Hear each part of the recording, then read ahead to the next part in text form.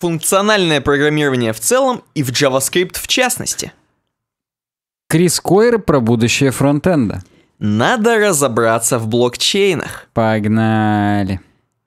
Всем привет, с вами проект UWeb Design, подкаст «Суровый веб», выпуск номер 129, и сегодня 13 июня, сегодня, по-моему, не 13 ни хрена. 13. 13 июня 2017 года, время 25 12 по Челябинску.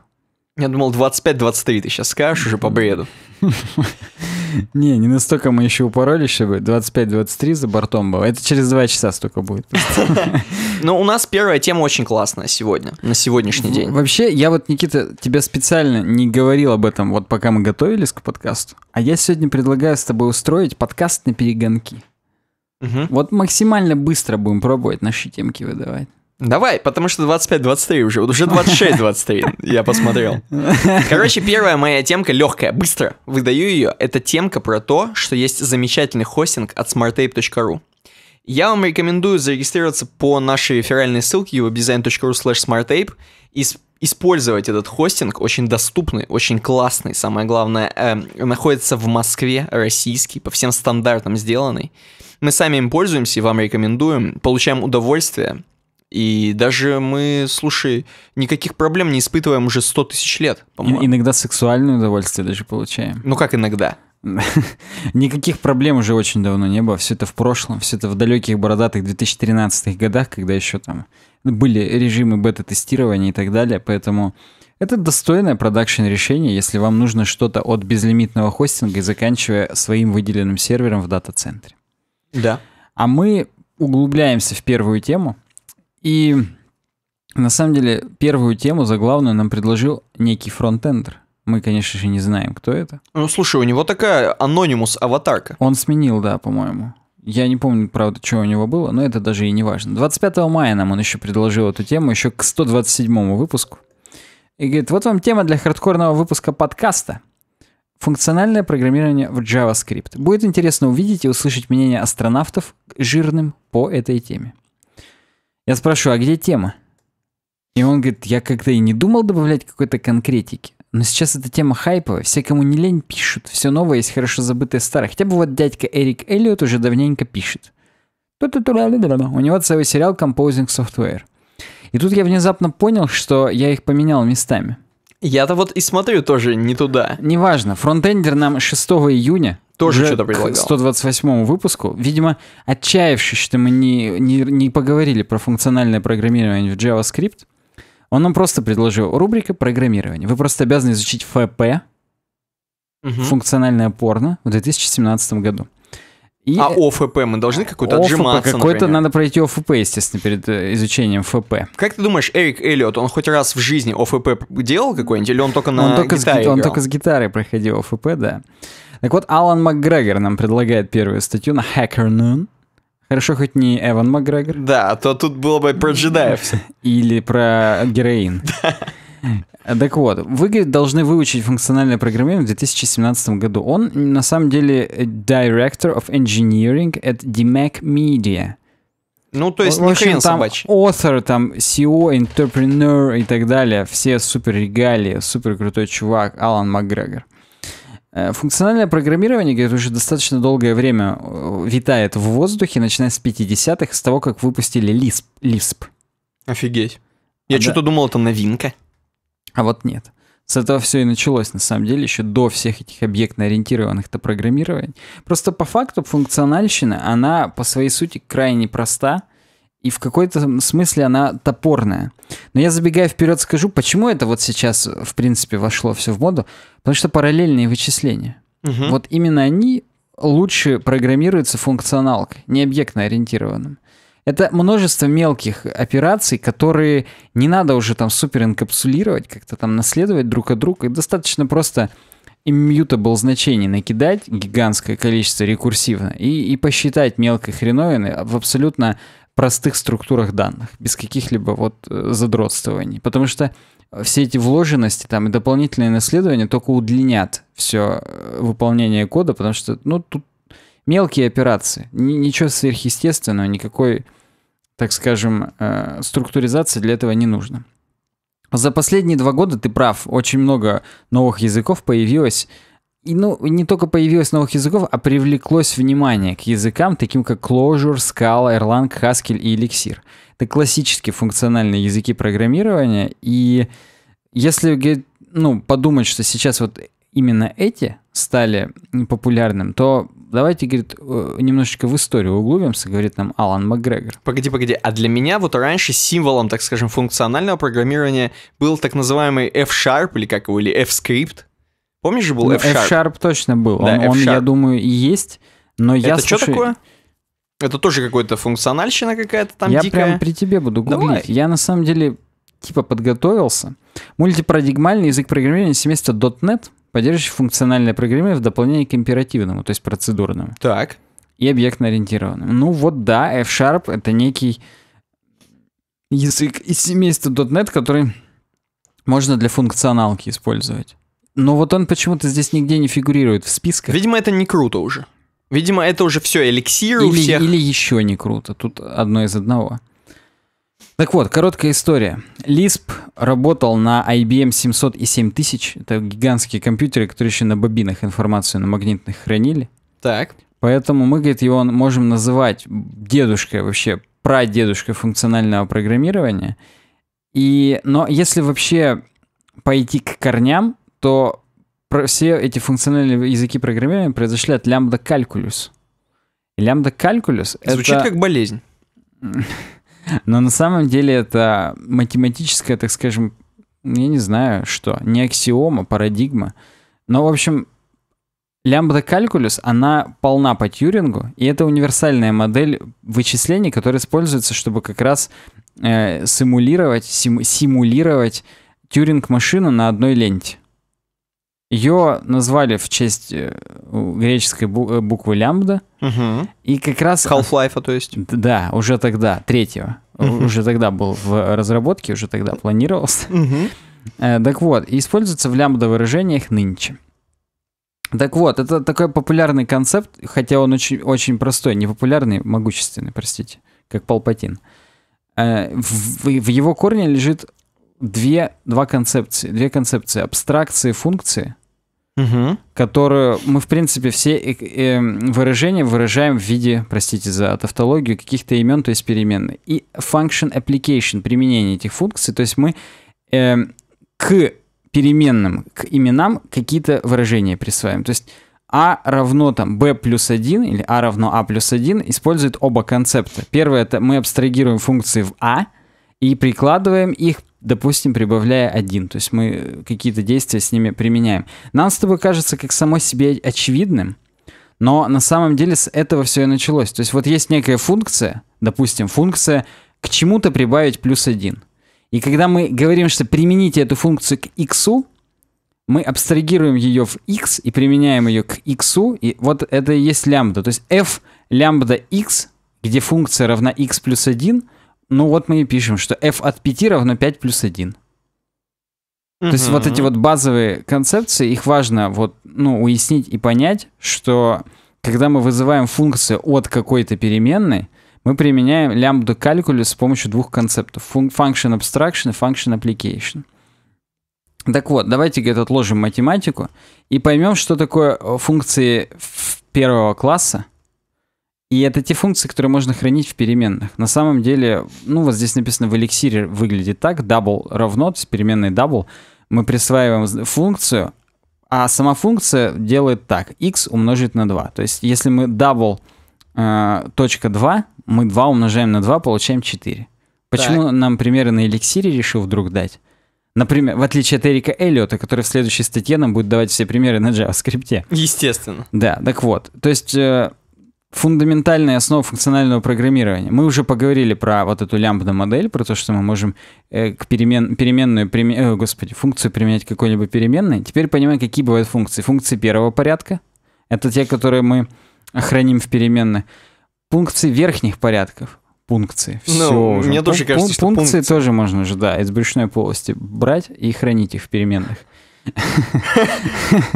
Так вот, э, функции высокого порядка — это те, которые могут принимать одно или больше значений, которые или или и, или или, не обязательно, короче, возвращает новую функцию.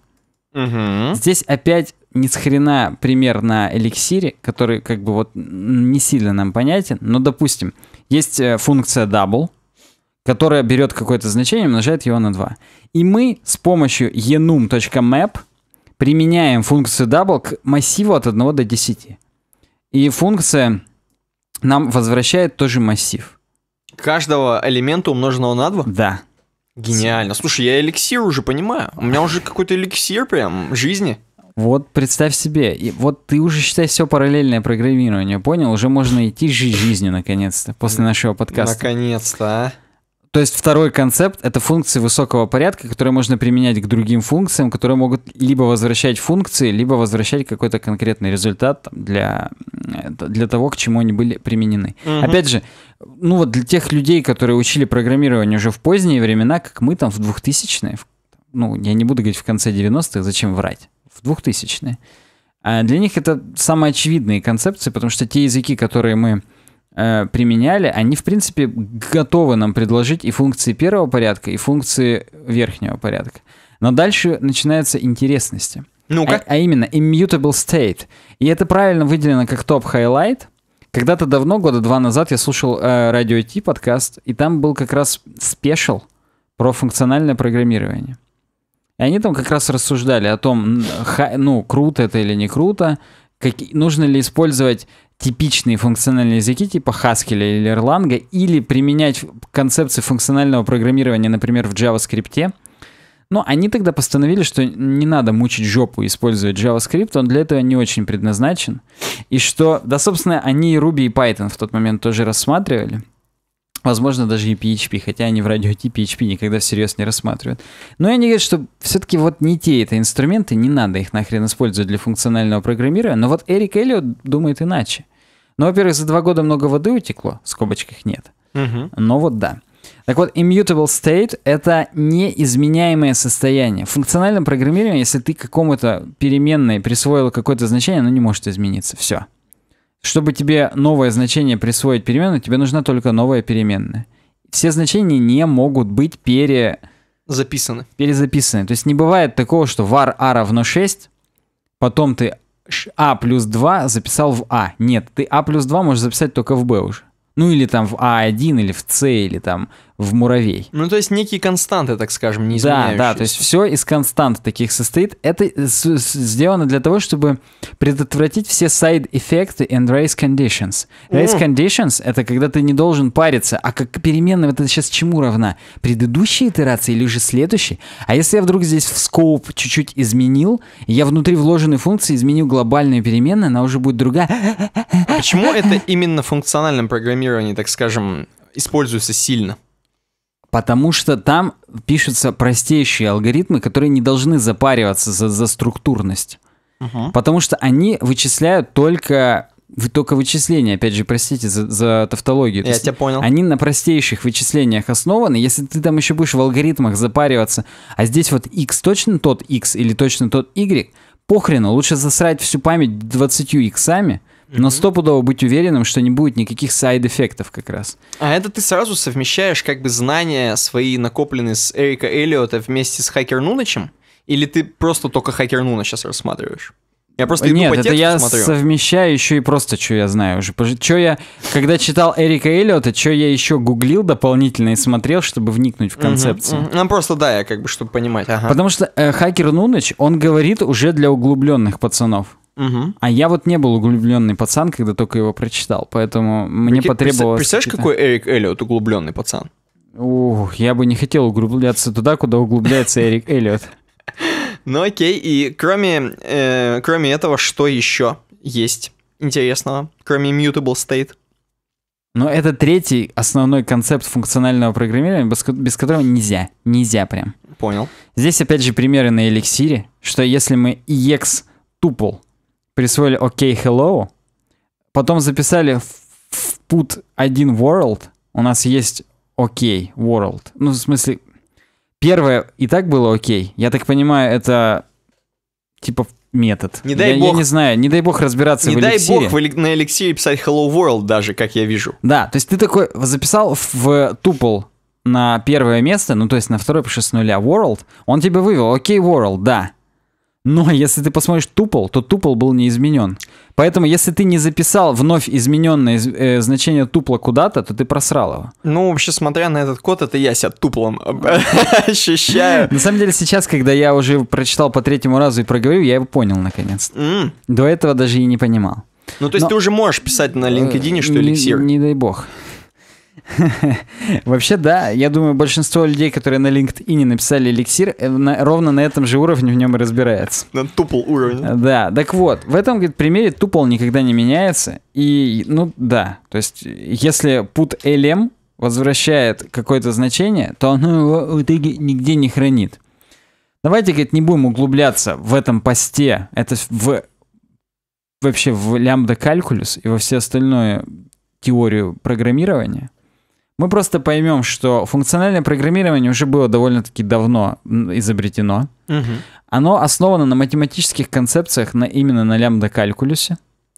Оно с- deemed. Я не знаю, как это переводится. Сейчас я буду смотреть прямо при вас. Прям вот э, занимательный английский язык с UX дизайн. Дим. Считать. Что это означает? Э, Считает слишком медленно. Что? А, оно считалось медленным по сравнению с императивным, то есть процедурными языками. Но это неправильно, по-моему. И функциональное программирование making comeback. Главное, чтобы out не мейкало. Нифига себе. Камбэк. А, Так вот, какие приложения, ну, есть, то есть какая- каково практическое применение функционального программирования?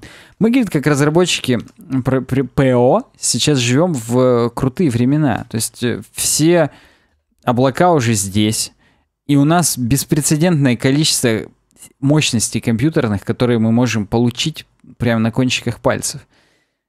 Но в- с этими мощностями приходит, э, так скажем, проблема масштабирования, наложения, ну и производительности.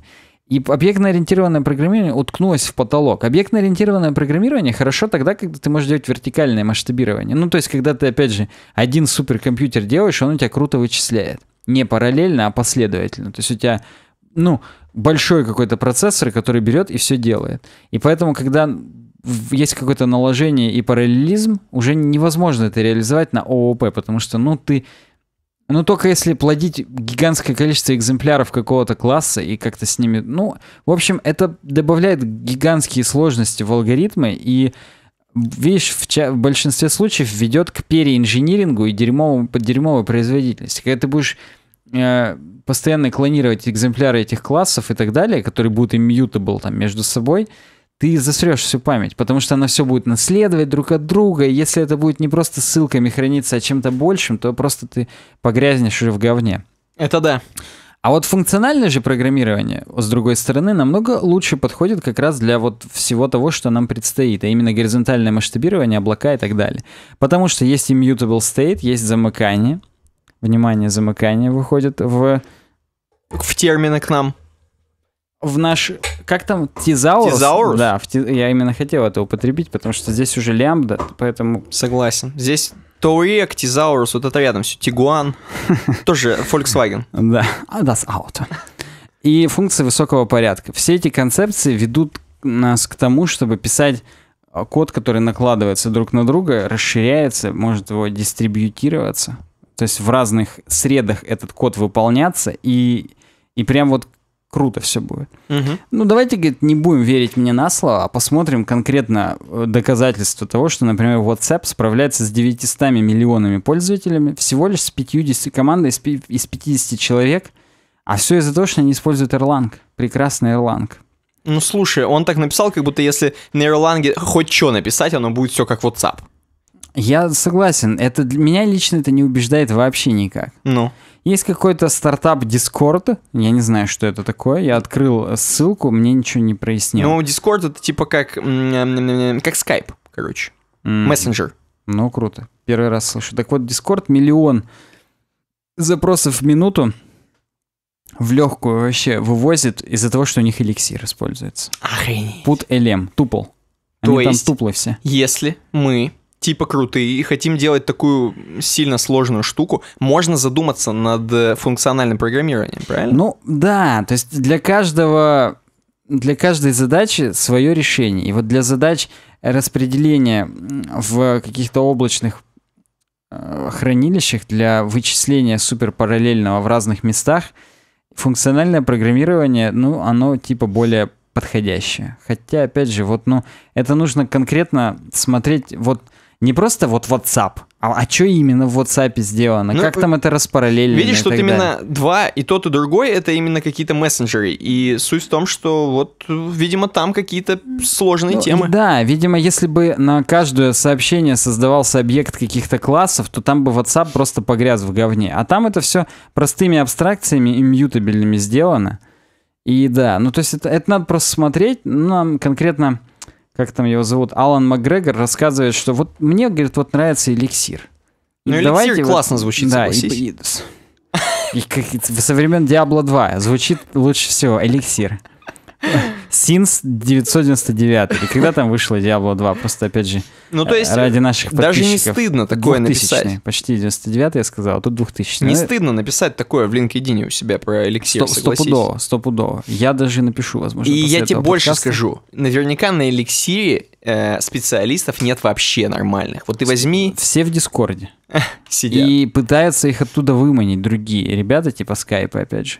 Там-то на F-Sharp наверняка корячится все еще. Да там на JavaScript, судя по скайпу. Э, Да, тоже может быть. Ну и, в общем, вот он нам предлагает здесь ссылки ознакомиться, как с э, эликсиром правильно работать. Давайте, говорит, поправьте меня. Ну и здесь, на самом деле, не сильные-то срачи и, и образовались здесь в комментариях. Если бы он на хабре это выложил, то, я думаю, он бы намного больше собрал. Лулзов. Ему бы на русском пришлось еще писать, так как он америкас. Я поставлю сердечко. Я, опять же, я понял концепции, я понял, что да, круто, что делает камбэк, что это старая архаичная хреновина, но я все равно вот конкретных алгоритмов, которые делаются лучше с функциональным программированием, я не получил, я не увидел, к сожалению. И вы, уважаемые подписчики, это, это мое уже мнение. То есть, да, круто. Я понял, что параллельные вычисления на функционалке делают лучше. Но и опять же, когда я поступал к нам в Юргу в магистратуру, в- на факультет вычислительных машин, а там у нас есть свой суперкомпьютер в Юргу, и там они все на скале. Мгм. Но скала, она даже в самом языке говорит о том, что она масштабируется. Scalable. Вау, я думал, это просто про скалу. Рок-скала. Да. Вот, и да, действительно, это для параллельных вычислений, там для... Но опять же, а что именно-то? Ну, объясните. Что там вы моделируете? И почему функционально это сделать лучше? Хочется пощупать внутренность. Так вот, вы, уважаемые подписчики, вы должны нам предложить темы уже с более... еще с большей конкретикой про функциональное программирование. Да, если кто-то вдруг шарит в функциональном программировании, например, каждый день пишет на эликсире, Ну, то приведите несколько примеров достойных. да, вы как-то вот нам сделай, убедите нас, что за этими алгоритмами будущее, и покажите прирост производительности, как там, например, тот же WhatsApp перешел с классической объектно-ориентированной модели и парадигмы на функционалку. Мгм. Это было бы замечательно.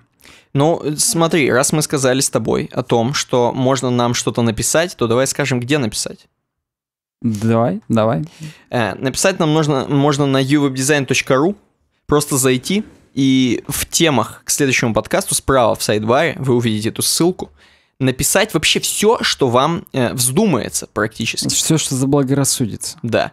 И самое главное, что, конечно же, желательно там предложить интересную тему для следующего подкаста. У вас есть такая возможность. Мы рассмотрим ее, скорее всего, Да, как видите, классная. как практика показывает, мы возвращаемся к темам, которые нам предлагали два подкаста назад. Мы все хорошие темы мы храним. Да. Мы как э, Android Дэвид, их в глотке у себя храним, и потом а, вот так вот достаем их перед подкастом. Во время подкаста мы достаем. И, и как-то с ними вот да, Мгм. общаемся с вами. Соответственно, раз можно написать, то можно и зарегистрироваться на сайте. Там же справа в сайт-баре можно по ссылочке зарегистрироваться, это сделать. И, соответственно, легче оставлять нам темы. Еще можно, еще можно э, заказывать у нас стикеры во ВКонтакте, в группе vk.com slash uwebdesign, э, стикеры uwebдизайна и UVD Games.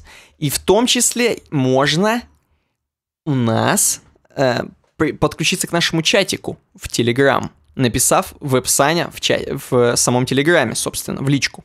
Кроме чатика у нас есть в Телеграме еще и канал, в котором все последние новости на, о выходе нашего контента всегда выходят. Да, ну Никакого лишнего, никаких сисек, никаких мимасиков, только выход нашего контента. Из Да. первых рук. И, опять же, если вы вдруг такие щедрые и хотите нас поддержать, то eurodesign.ru slash donate. Да, желтая ссылочка здесь прямо в хедере на сайте. Мгм, мгм. К дизайну.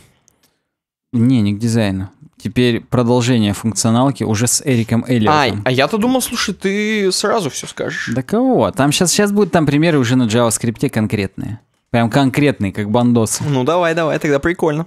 Так что не это, не радуйтесь еще пока. я уже начал, если честно, радоваться. Я посмотрел, у нас там э, летающие лейблы, я уже полетел. Такой, Вау, опять, ну ура, лейблики.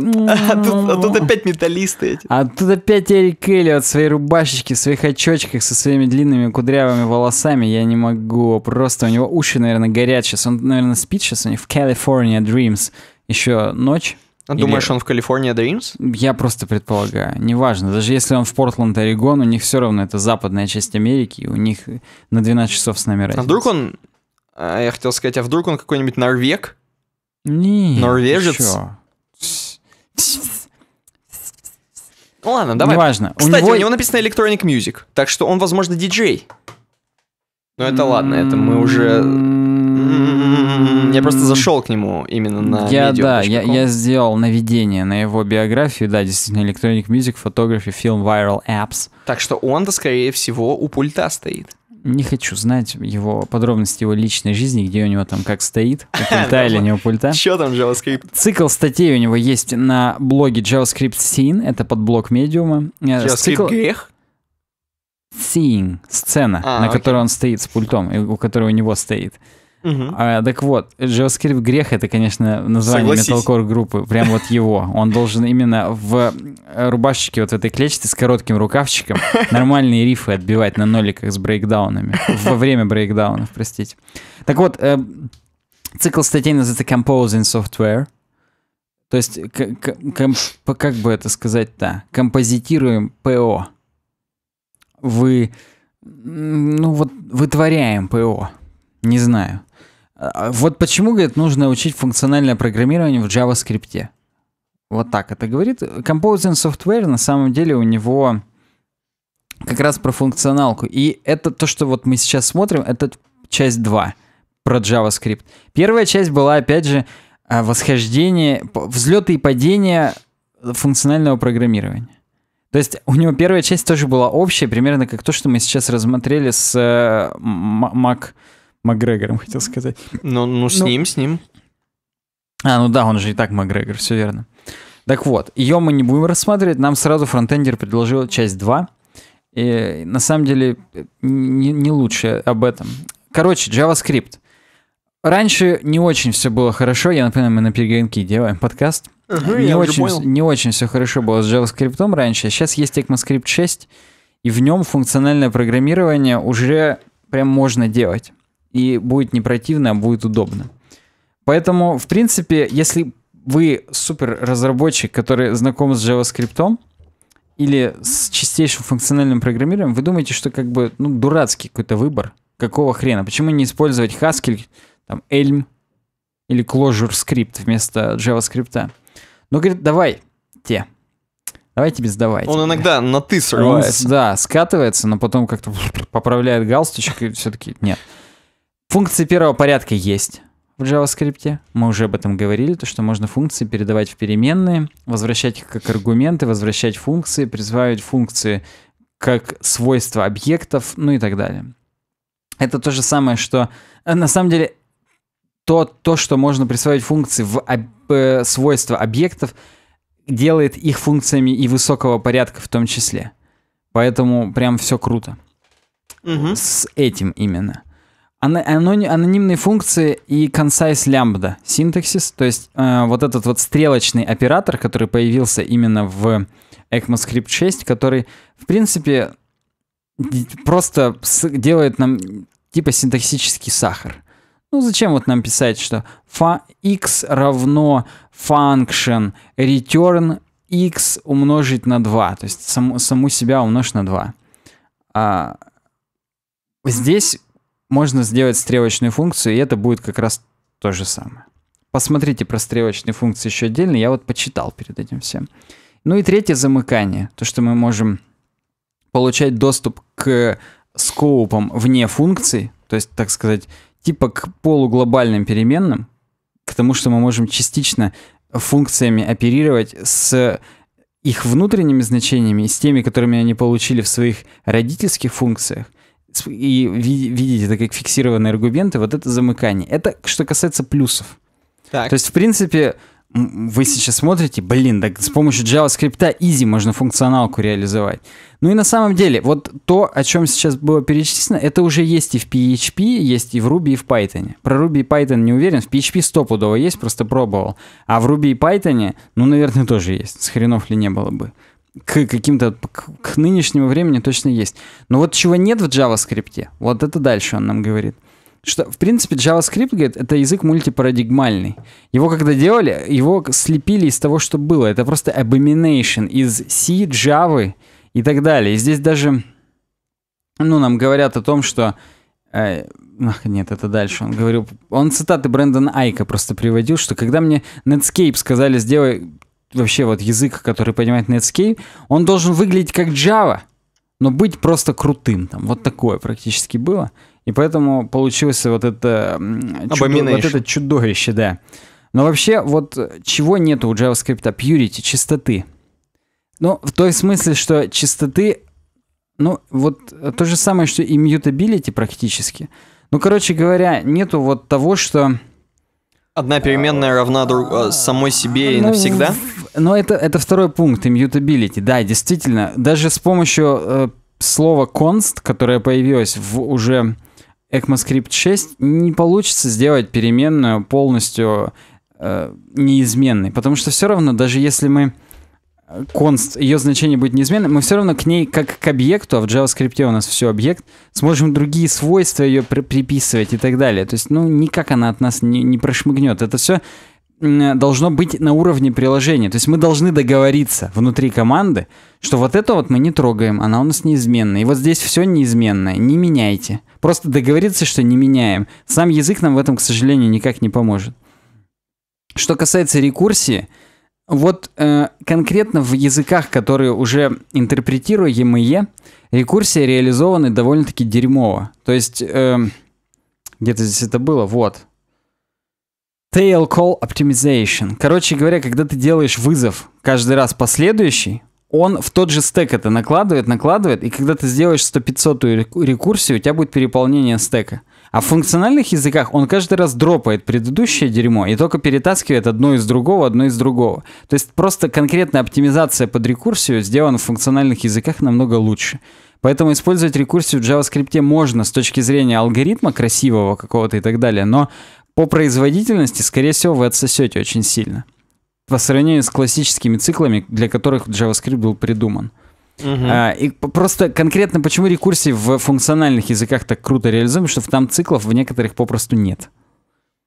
Так вот, так. что касается вот этой неизменности, кроме того, что мы можем договориться в команде, есть еще и решения типа Immutable.js или Mori, которые практически запрещают вам что-то менять. Но и даже в будущих версиях ECMAScript нам собираются это запретить, чтобы у вас были какие-то структуры данных, которые были immutable по умолчанию.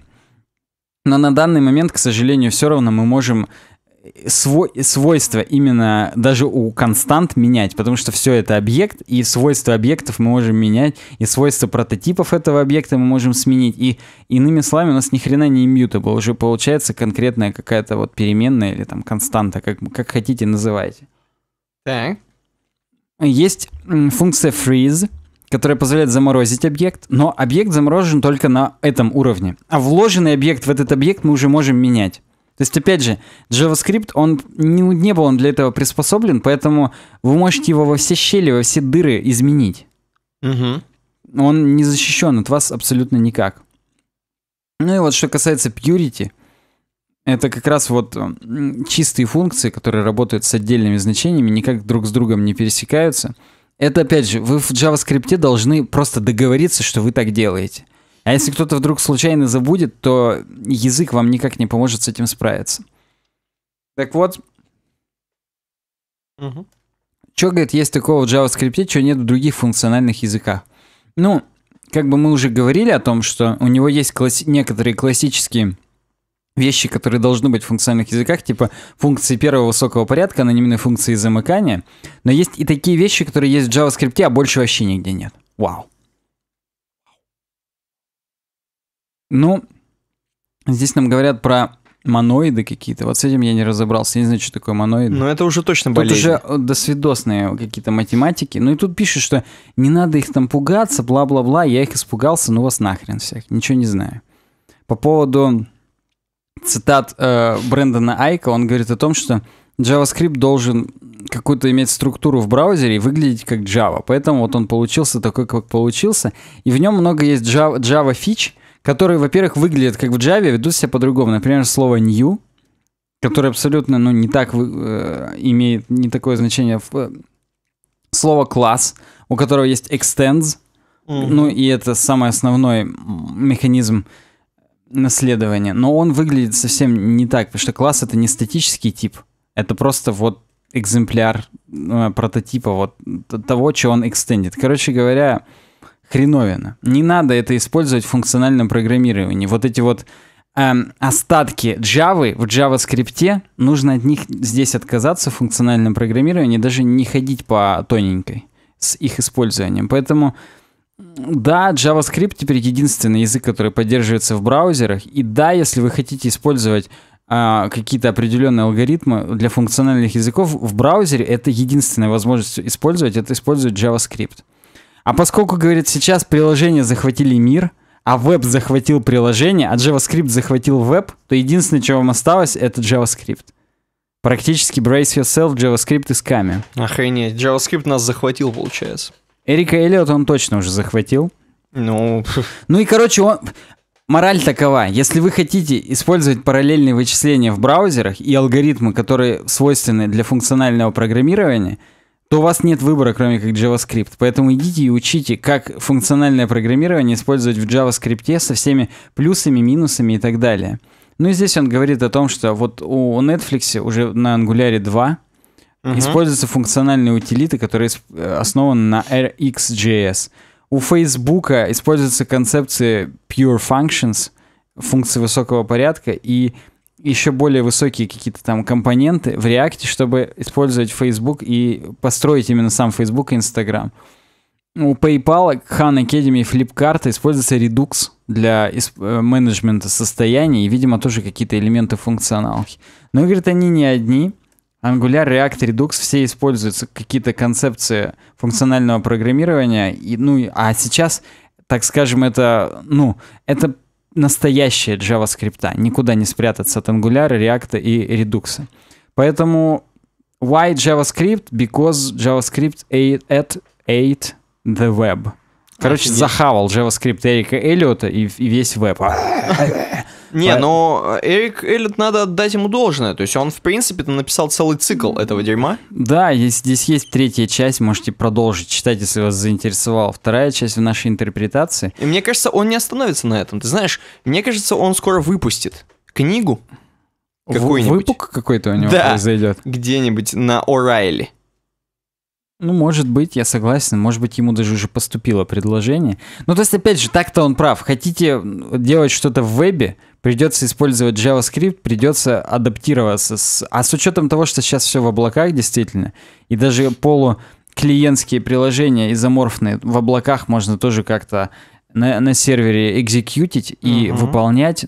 Ну, короче говоря, действительно, так или иначе приходится использовать функционалку и в JavaScript. Ну, и если вы прозорливый молодой человек или девушка, то попробуйте разобраться в этом всем. А я хотел сейчас какую-то аналогию с чужим придумать, что JavaScript это вот эта черная жижа, и она захватывает уже все. Ты думаешь, может быть, наоборот, JavaScript это люди? Вот эти тупые. А, а что Которые черная жижа? которые высадились, а черная жижа это Эрик Эллиот, бля. Согласен, согласен. Ладно, что, дальше Чё, ну, дизайн. дизайн, дизайн. Я прям жду. Ты, мы же сегодня на перегонки. Там сейчас дизайн будет нормальный, перегоночный. Floating, Floating labels. Labels Problematic. Адам Силвер нам предлагает сегодняшнюю статью Слушай, на... он как пират, он Сильвер. Как Джон Сильвер, только Ну да, Адам он во Сильвер. все зубы там улыбается. Невозможно золотые у него, как у цыгана. А мы, кстати, ржали, что это Адам Сэндлер еще мог написать. Ну да, мы с тобой, когда готовились к подкасту. На подблоге Simple Human на Medium я так и быть Эрику Эллиоту лайк поставлю. Не- Сжалился Не удержался, да, я согласен, я с ней зашел. Так вот, а Адам Силвер ранее, мы-то и не знали, написал статью «Плейсхолдеры проблематичные». О том, почему в инпутах плейсхолдеры полное говно. Ну, мы уже в интерпретации Бабича о таком говорили.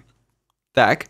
И мне, говорит, когда, ну, я об этом написал, посоветовали вот этот паттерн floating labels. Когда ты фокусишь input, то его placeholder уходит наверх, ну и типа как лейблик такой становится. Мгм. То есть было username написано в самом инпуте, ты его зафокусил, username ушло в заголовочек чуть-чуть. И ты такой, а, точно, тут username. Я теперь не забуду, что там надо написать, потому что вот оно здесь.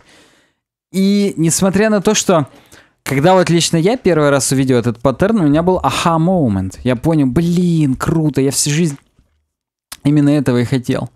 Не власти, денег, богатства, а, А. вот э, floating label паттерн. Так.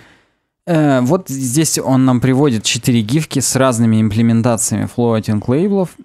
И мы, говорит, прям соблазняемся иногда такими паттернами, чтобы сохра- сэкономить место какое-то. Потому что, ну, понимаешь, э, какой другой паттерн при, при- предыдущий? Это непосредственно лейбл перед каждым инпутом просто строчками отдельными. Мгм. Но здесь все так уютненько, все такое simple, clear. То есть у нас и placeholder есть всего лишь такой серенький, и, и потом он хоп уходит вот вместо рамочки. То есть, ну, я сейчас смотрю самую четвертую имплементацию, Мгм, когда мгм. реально это уходит в верхний лейбл и прям даже перекрывает чуть-чуть рамочки там, ну, так красивенько реально. Так вот, э, почему же, какие минусы? Почему э, Адам Сильвер считает это проблематичным? Внимание, он уже писал статью про плейсхолдеры. Теперь он пишет статью про floating label. Почему я делаю на этом акцент? Потому что в конце он, похоже, забыл об этом и опять скатился в плейсхолдер. Ну реально. Первый пункт. Не остается места для подсказок. То есть, допустим, мы засабмитили форму, и нам прилетели ошибки. Эти Так. ошибки должны быть после каждого инпута, а у нас нет места там. Потому что мы лейблом место это не забиндили. Так бы у нас был лейбл, и в скобках бы ошибка была. Типа, в скобках, а вы указали полное говно невалидное. А теперь негде это написать. Нужно или раздвигать инпуты и там писать, или как-то еще. Согласись, достаточно наигранно, но допустим. Ну, пока так притянуто за уши, так да. скажем. Э, второе. Их сложно читать. И здесь он при- приводит именно тупорылую имплементацию, там же внутри инпутика, только вверху. Он сверху приводит красивые реально имплементации, которые не очень сложно читать, которые просто музыка. А здесь какое-то полное говно, еще и пароль свой спалю, жираф 21. Ну, слушай, это палево, надо взламывать его. Согласен, надо под- подбирать везде Адам Сильвер и жираф 21. Мгм. А, им нужно место, куда двигаться. Вообще, говорит, если даже текст friendly, нужно просто дви... нужно их куда-то двигаться. А если, говорит, мы его будем двигать куда-то, то мы все равно место не сэкономим. Мы все равно где-то должно быть пространство. И опять, тут, мать твою, жираф 21. Опять он нам показывает, что должно быть место. Ты дурак, ты просто вот на рамку бы его вверх передвинул, и все. Ну что такое? Я не понимаю. Ну, то есть, серьезно. Мгм. И даже если бы, ну, не выдерживает никакой критики. Согласен. Четвертое. Погнал. анимация проблематична. Даже, говорит, если красивая анимация, она все равно отвлекает. Особенно, говорит, она дает неуверенность э, тем, кто со, с ограниченными возможностями. А если, говорит, зумировать, то этот лейбл убежит. Но имплементируй нормально, никуда не убежит, не будет ничего мелькать, все будет вообще хорошо. То есть у него руки, возможно, из Ж растут. И, и самое главное, пятый пункт. Я не знаю, я сейчас его достаточно хейтю. Возникает вопрос, нахрена эту тему вообще тогда включил в подкаст, если она меня бесит? Ну, да, я вообще не да. знаю, откуда эта тема взялась. Просто она, она была у нас в темах. Она нам подложена кем-то, как подложка. Блин, может быть, сам даже Адам Сэндлер нам подложил ее. Согласен, как-то каким-то образом наш Трелло ломанул и туда добавил. Возможно, у нас там тоже жираф 21 пароль был.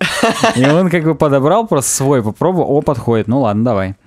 Пятое. Внимание, он начал уже опять скатываться в placeholder. Вним- У него был профлотинг лейбл. Мгм. Плохой, говорит, контраст. Серенький. Ничего не видно. И уже показывает просто нам placeholder. Уже флотинг лейблы даже не, не утруждается показывать. Хотя сделает их черными, будет нормальный контраст.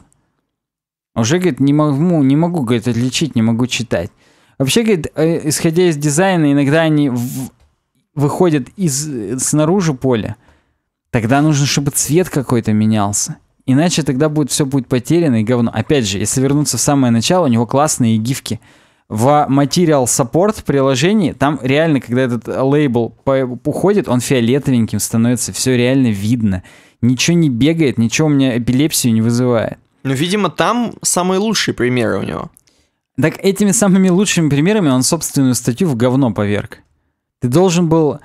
э, Не примкнуть к э, ней? Да, да, ты должен был восстановить силу, а не ввергнуть ее во мрак. Вот. Шестое. Можно их спутать со значением. Если вот недостаточно отодвинуть вверх, можно подумать, что это ты значение такое вел. Ну, Ну, так можно. отодвинь вверх, дурак, и не, не будет никакого вот, ну... И сделай его, опять же, вот в рамках рамки, простите за тавтологию, и вот да. They are inconsistently located. Вот Мгм. с этим я, пожалуй, соглашусь. Это достаточно конструктивно. То есть, допустим, у текст инпутов действительно у нас э, лейбл уходит наверх, там становится в рамках рамочки. А у селектов нет. Там country так и приходится делать перед просто селектом и так далее. Мгм. Ну просто я вот... эм, давай я прям попробую сейчас. uwebdesign.ru Пишу floating label у нас Так. в поиске на сайте. М, к сожалению, нет. Это надо в паблике искать. Ну-ка, vk.com slash uwebdesign. Беспрецедентный интерактив. Я даже просто в, в реальной жизни никогда так не делаю, а здесь делаю. Не, ну ты с другой стороны на наглядном примере на себе как бы покажешь нашим э, дорогим Даже в слушателям. паблике floating label нет. Floating label examples. Я сейчас буду гуглить уже в Google. Float labels collection Chris Coyer. Вау. М, интересненько. Что там нам Крис пред- Просто я видел точно именно примеры, в которых и у селектов эти флотинг лейблы были. И мы это даже с э, моим коллегой, с бывшим из Калининграда, имплементировали. Именно у селектов тоже это дерьмо было. Оно также уходило просто наверх и все. Слушай, твой коллега, бывший из Калининграда, он случайно не Адам Сильвер, просто, чтобы я понимал? Он Адам Сэндлер. Э, Ладно, я не буду сейчас углубляться в поиски. Был, был где-то пример, в котором действительно это было имплементировано. Но согласен, если это так, как э, он нам говорит, что у текстовых инпутов это floating label, а у селектов это обычный лейбл, то тогда да, это не консистенси, это говно. Восьмое. Лейбл может быть обрезан. Ну, то есть, если у нас input там, 200 пикселей, а сам этот текст 300 пикселей, то он, ну, он не поместится просто. Ну там Ну, реально, чувак показывает бредовый пример. Да, да, но это пример бредовый. Э, Этот floating label это всего лишь лейбл, это заголовочек, там, название. Оно не должно быть больше, чем сам input элемент. Ну, ну, come on. Согласен, come on. Просто, понимаешь, многие его пункты не выдерживают критики. Самое Честно. главное, да, почти все. Самое главное, что примеры уже, картинки, кто он показывает, он уже забыл, что он про floating labels говорит. Он уже просто примеры плейсхолдеров опять показывает, как в предыдущей статье, и все. Это, знаешь, как есть исполнитель одной песни, актер одной роли, вот он автор одной статьи. Да, что-то Сэндлер-то подкачал. Вообще. И девятое, они игнорируют стандарты. Их, говорит, сложно имплементировать. Это, говорит, не лейбл на самом деле, это вот placeholder, его нету семантически в HTML и так далее. Но, опять же, то решение, которое мы имплементировали с моим коллегой из Калининграда, оно включало в себя и accessibility момент. То есть там генерировался именно лейбл, и все было прям круто-круто-круто. Поэтому я считаю, что это все вопросы имплементации, и Адам Сильвер, ты, ты ковбой. Ты, ты думаешь, твой папа там это делал что-то? В общем, нет. Я считаю, что здесь другие ребята, и у нас здесь в подписчиках и веб-дизайн пацаны, которые способны эти floating labels сделать просто идеально, гениально, и чтобы у тебя не вызвало это никаких вопросов. Да я согласен. Наши подписчики, они его просто за пояс заткнут, этого Адама Сильвера. Прям вот да. Поэтому я, говорит, об этом написал в своей выходящей книге Form Design Patterns. Он бы Никто своей не купит- девушке лучше бы Никто написал. не купит твою книгу, Адам. Ты Адам, просто ты лапут- ковбой Ой. реально. Я не буду лайкать ему эту статью. Не надо. Давай дизлайк. Там есть дизлайк? К сожалению, нет. Даже у меня нет расширения на медиум, как ВК Опт, который Да. именно дизлайки мне подключит. В следующий раз напишем ему гневный комментарий. Ну Как да, нам по- пишут. По, Шелдону, как да. нам пишут в- на Ютубе. Согласитесь? То есть мы прям напишем, Адам, ты бы лучше разобрался бы в теме. Прежде чем в заголовок-то ее выносить, ты там напиши сначала, придумай там что. Вот именно. Ладно, дальше у нас по плану в дизайне. У нас какой-то developer.apple.com э, slash design. Да, как мы уже помним, прошла WWDC, конференция еже- ежегодная разработчиков в Купертино, а может быть где-то сам- в Сан-Диего прошла, хрен, я не помню, где она прошла, меня насрать. Э, Пупертино. Да, Но. в Кульвер-Сити, может быть, даже. Ну, И а, были представлены новые прошивки, а вместе с ними и новые дизайн-концепции интерфейсов, которые вы должны имплементировать, если хотите встроиться в э, инфраструктуру осенник. И здесь ты мне говоришь, я тебе говорю. Санек, я же знаю, что ты не рассматривал каждую вот эту хреновину. Давай сделаем это прям в прямом Давай, эфире. давай сразу в Давай iOS. сделаем это прям в прямом эфире. В iOS пойдем. Human Interface Guidelines. В iOS сразу идем. Ныряем. Кстати, здесь есть Apple Design Awards, награда каждый раз, и он- они розданы. Можно see the winners. И там приложения, разные приложения просто победили в разных номинациях. Old Man's Journey, например. Что и такое можно делать? Severed. Вот, допустим, что такое? Severed? Это как Fruit Ninja, только вот что-то другое. В смысле, они охрененно задизайнили, типа... Господи, какие утырки. Там команда разработчиков, и там чувак, который на коленочке первый сидит, ты, конечно, до свидос. Я не буду смотреть, я не, не буду смотреть. Но там у них именно персонажи крутые. Они круто используют гейм-центр, ачивменты. Они круто используют 3D Touch. Они, это награда не просто за дизайн крутой, а за отличное использование платформы. Apple За то, что они прям вот вникли в философию Apple, и вот как Apple задумывала использовать, так они используют. То есть реально, в играх использовать 3D Touch, это не каждая игра себе позволяет. Причем нужно это сделать так изящно, чтобы вот, например, у меня на моем iPhone 6, которым нет поддержки 3D Touch, я не чувствовал себя ущербно по геймплею. Что чувак с 3D Touch меня уделывает за раз, что он по три патрона в меня сразу выстреливает своим 3D Touch. Слушай, да. Вот. да. А у это должны быть какие-то микроулучшения геймплея, которые вроде как бы... Как будто шапка у него просто другая от того, что у него 3D Touch в Team Fortress. Да, или, например... Но он другой скин на Калашникова в Glo- Global Offensive. Ну, я утрирую, конечно. Ты, ты должен. Мне кажется, нет. Мне кажется, это гениальная идея сейчас. Вот у них, видимо, так, такие и были, потому что им присудили. Это, это просто одна, одна из э, наград, это Old Man's Journey. Ну, из того, что я знаю, из того, что я знаю, Things 3. Это тудулистное приложение. Я еще первой версии его пользовался. Бесплатно. А, thing, things... Things с галочкой такое дерьмо. Вот уже вышла третья версия, и она получила награду. Просто она же платная до Да, усрачки. Ну, не до усрачки, но платная, Ну, да. сколько, И- сколько? Давай, я захожу Давай. в а, App Store. Сейчас опять скажешь, что 10, мы Apple, 10 фунтов. Apple фанбой. А Ну, можно та- как-то не на... Как будто мы с тобой не в Лондоне из-за Capital of Great Britain? Легко, я перехожу в свой iTunes 749 рублей. Дешево. Но оно включает в себя приложение для Apple Watch, для ТВ, Apple TV. Для iPad, наверное. А, Ну, это само собой. это, как бы- это я даже уже не, не, не учитываю. А, нет. А на для MacBook? Apple TV а я, есть я ли побре- на MacBook? На MacBook есть. Я брежу по поводу Apple TV. macOS, iOS, WatchOS. Это, кстати, немцы. Germany, чтобы ты понимал. Я не сомневался в них. Они могут... Они прям те самые педанты, которые должны продуктивность делать. И они, кстати, еще в 2009 получили Apple Design Awards за первые Things.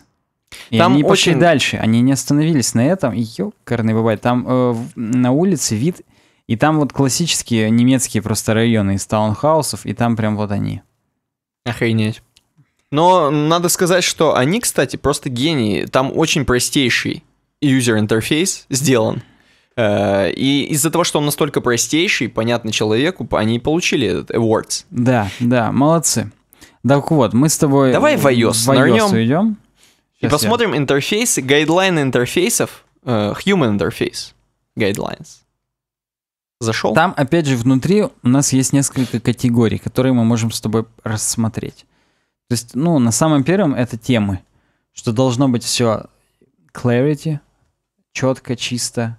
Там есть какие-то принципы даже. Ну, там принципы просто, что все должно быть как у нас в самой прошивке. Чистенько, аккуратненько, полупрозрачненько, глубоко. Анимации должны быть мягкие, перетекающие и Слушай, так а далее. нет, а подожди, вот допустим мы с тобой себе представим, что мы такие серьезные пацаны. Нам э, это вот, э, так скажем, лирика ни о чем не говорит. Есть ли какие-то прям, чтобы Давай, размеры, давай, bars, миллиметры? bars прям. давай, давай. Так, Навиге- И здесь сразу прям navigation bars.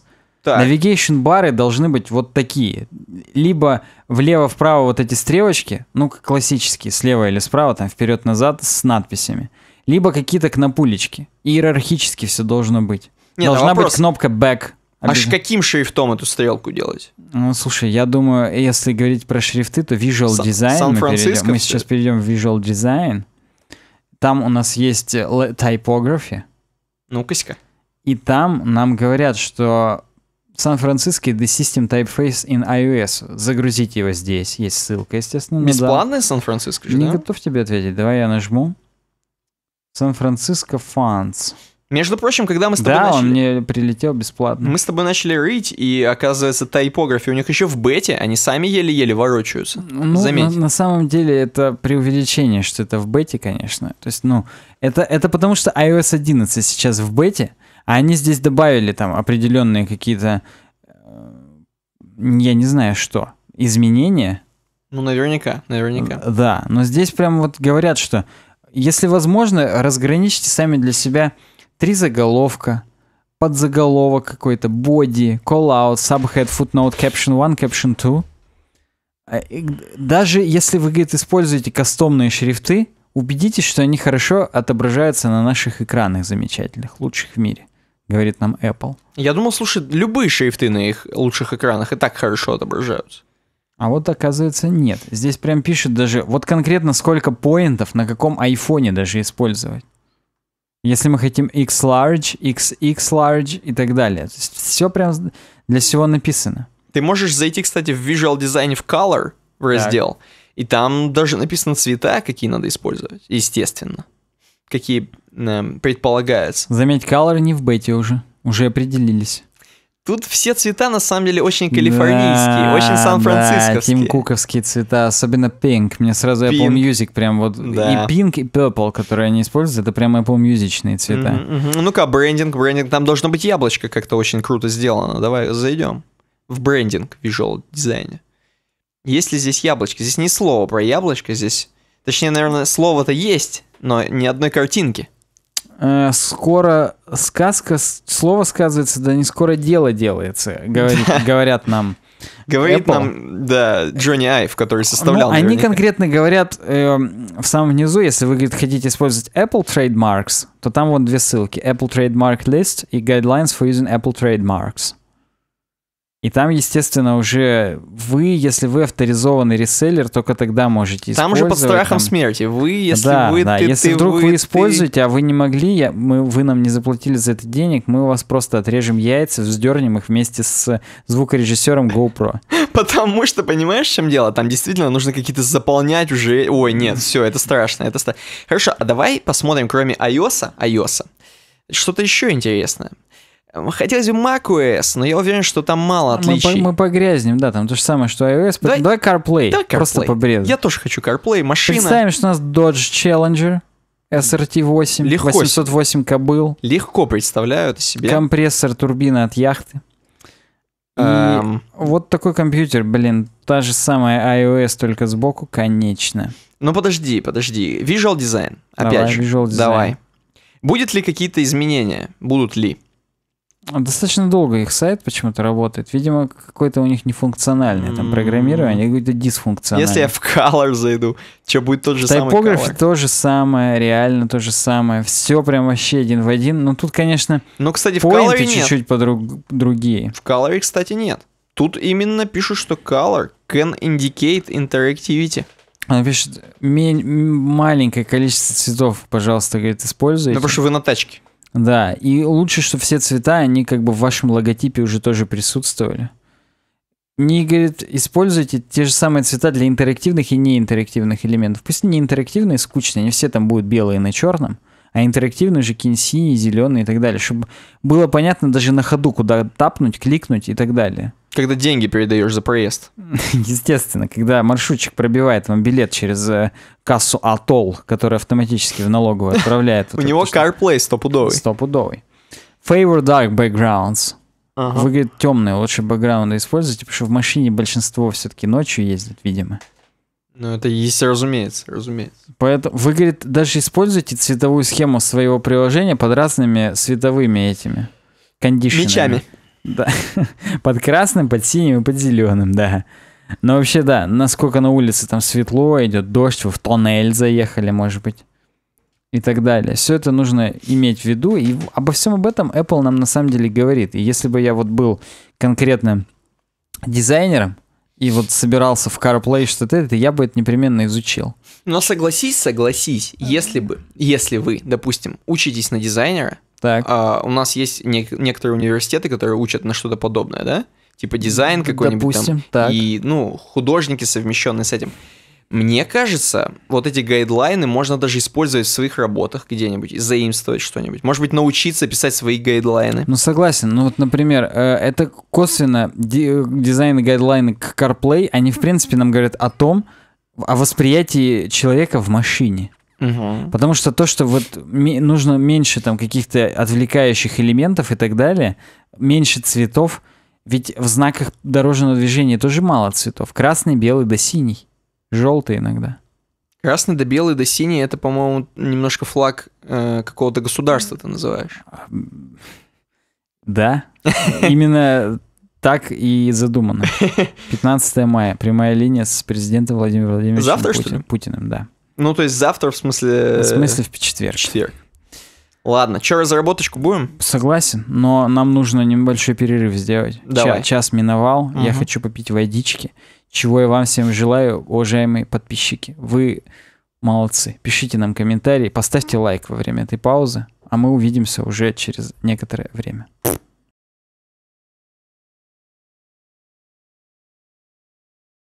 Продолжаем наш разговор. И сейчас разработка, так называемая. Первая тема называется Крейскор про будущее фронтенда. На самом деле наши громкие темы про функциональное программирование я бы тоже отнес к разработке, Соглашусь. но пусть будет первое. А Михайлов прокомментировал нам и оставил тему «Очередной взгляд в будущее». И здесь взгляд не просто чувака с Я улицы. просто представил, что вот Александр Михайлов по парку шел, хоп, присел, оставил нам тему, а он за ним не убрал никто Но просто. Ну, мы, мы И убираем. вот мы убираем теперь, да. Э, На самом деле взгляд в будущее достойного человека, достойного знаменитого в индустрии человека, Ч- Криса Койера. Взгляд не мальчика, но мужа. Да. И такого, знаешь, мужа, как сказать, э, который plus size мужа, я бы сказал. Ну, он уже теперь, э, уже Аполлон, как бы уже просто такая двухметровая гора. А Ну, он, неважно. А он высокий, да? Он здоровый просто, он кроме шуток гигант, поэтому да. Короче говоря, Криса Койера, как вы догадались, как я уже сказал, это, между прочим, человек, который делает ресурс CSS3X, Делает уже лет 10, я думаю. и он об этом и пишет. Он, он сам говорит, как бы, давайте поразмышляем, какое будет будущее у фронтенда. Будущее фронтенда в веб-разработке, так скажем, в мире веб-разработки.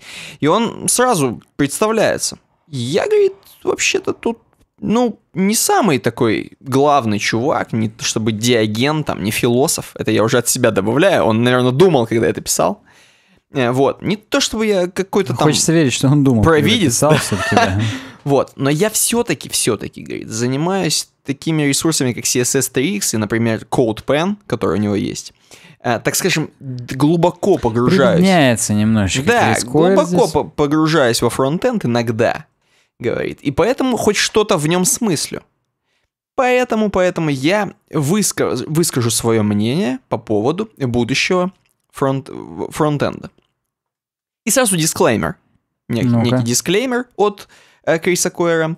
Э, из трех пунктов состоящий, говорит. Это, говорит, все-таки моя точка зрения, первая. Она не исчерпывающая. Не говорит. исчерпывающее. Второе. Эм, как бы чисто, как, как сказать-то, Предположение, говорит. такое, да, чисто моя, опять же, моя точка зрения. И, говорит, в-третьих, в-третьих, я просто чувачок. Dude. Просто, говорит, чувак. Просто, говорит, точка зрения чувака. Ну вот, в общем, он сильно прибеднялся в самом начале выступления, а теперь начнем. Будущее фронтенда, по мнению Криса Куэра. Не по моему мнению. Даже не по мнению Сани. Не. Не. По мнению Криса. По моему мнению, мы все обречены. Да. We are all doomed. Но, но, Крис говорит нам, что на самом деле пользовательские ожидания растут. То есть пользователи хотят все больше и больше, как бы это ни звучало. Они хотят, Oh, yeah. они хотят, чтобы мы быстро все разрабатывали, чтобы фронтенд быстро делался, так скажем, Так. кем-то. И чтобы он делался качественнее. И это будущее фронтенда, что все больше и больше требований будет от э, Быстрее, выше и сильнее. Да. Э, говорит, что новый JavaScript уже здесь.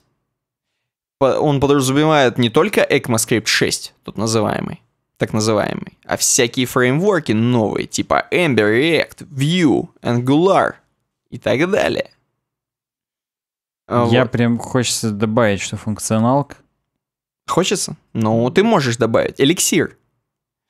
Вот, поэтому, говорит, э, сейчас нужно знать новый JavaScript. Его нужно изучать, нужно интересоваться им, так скажем.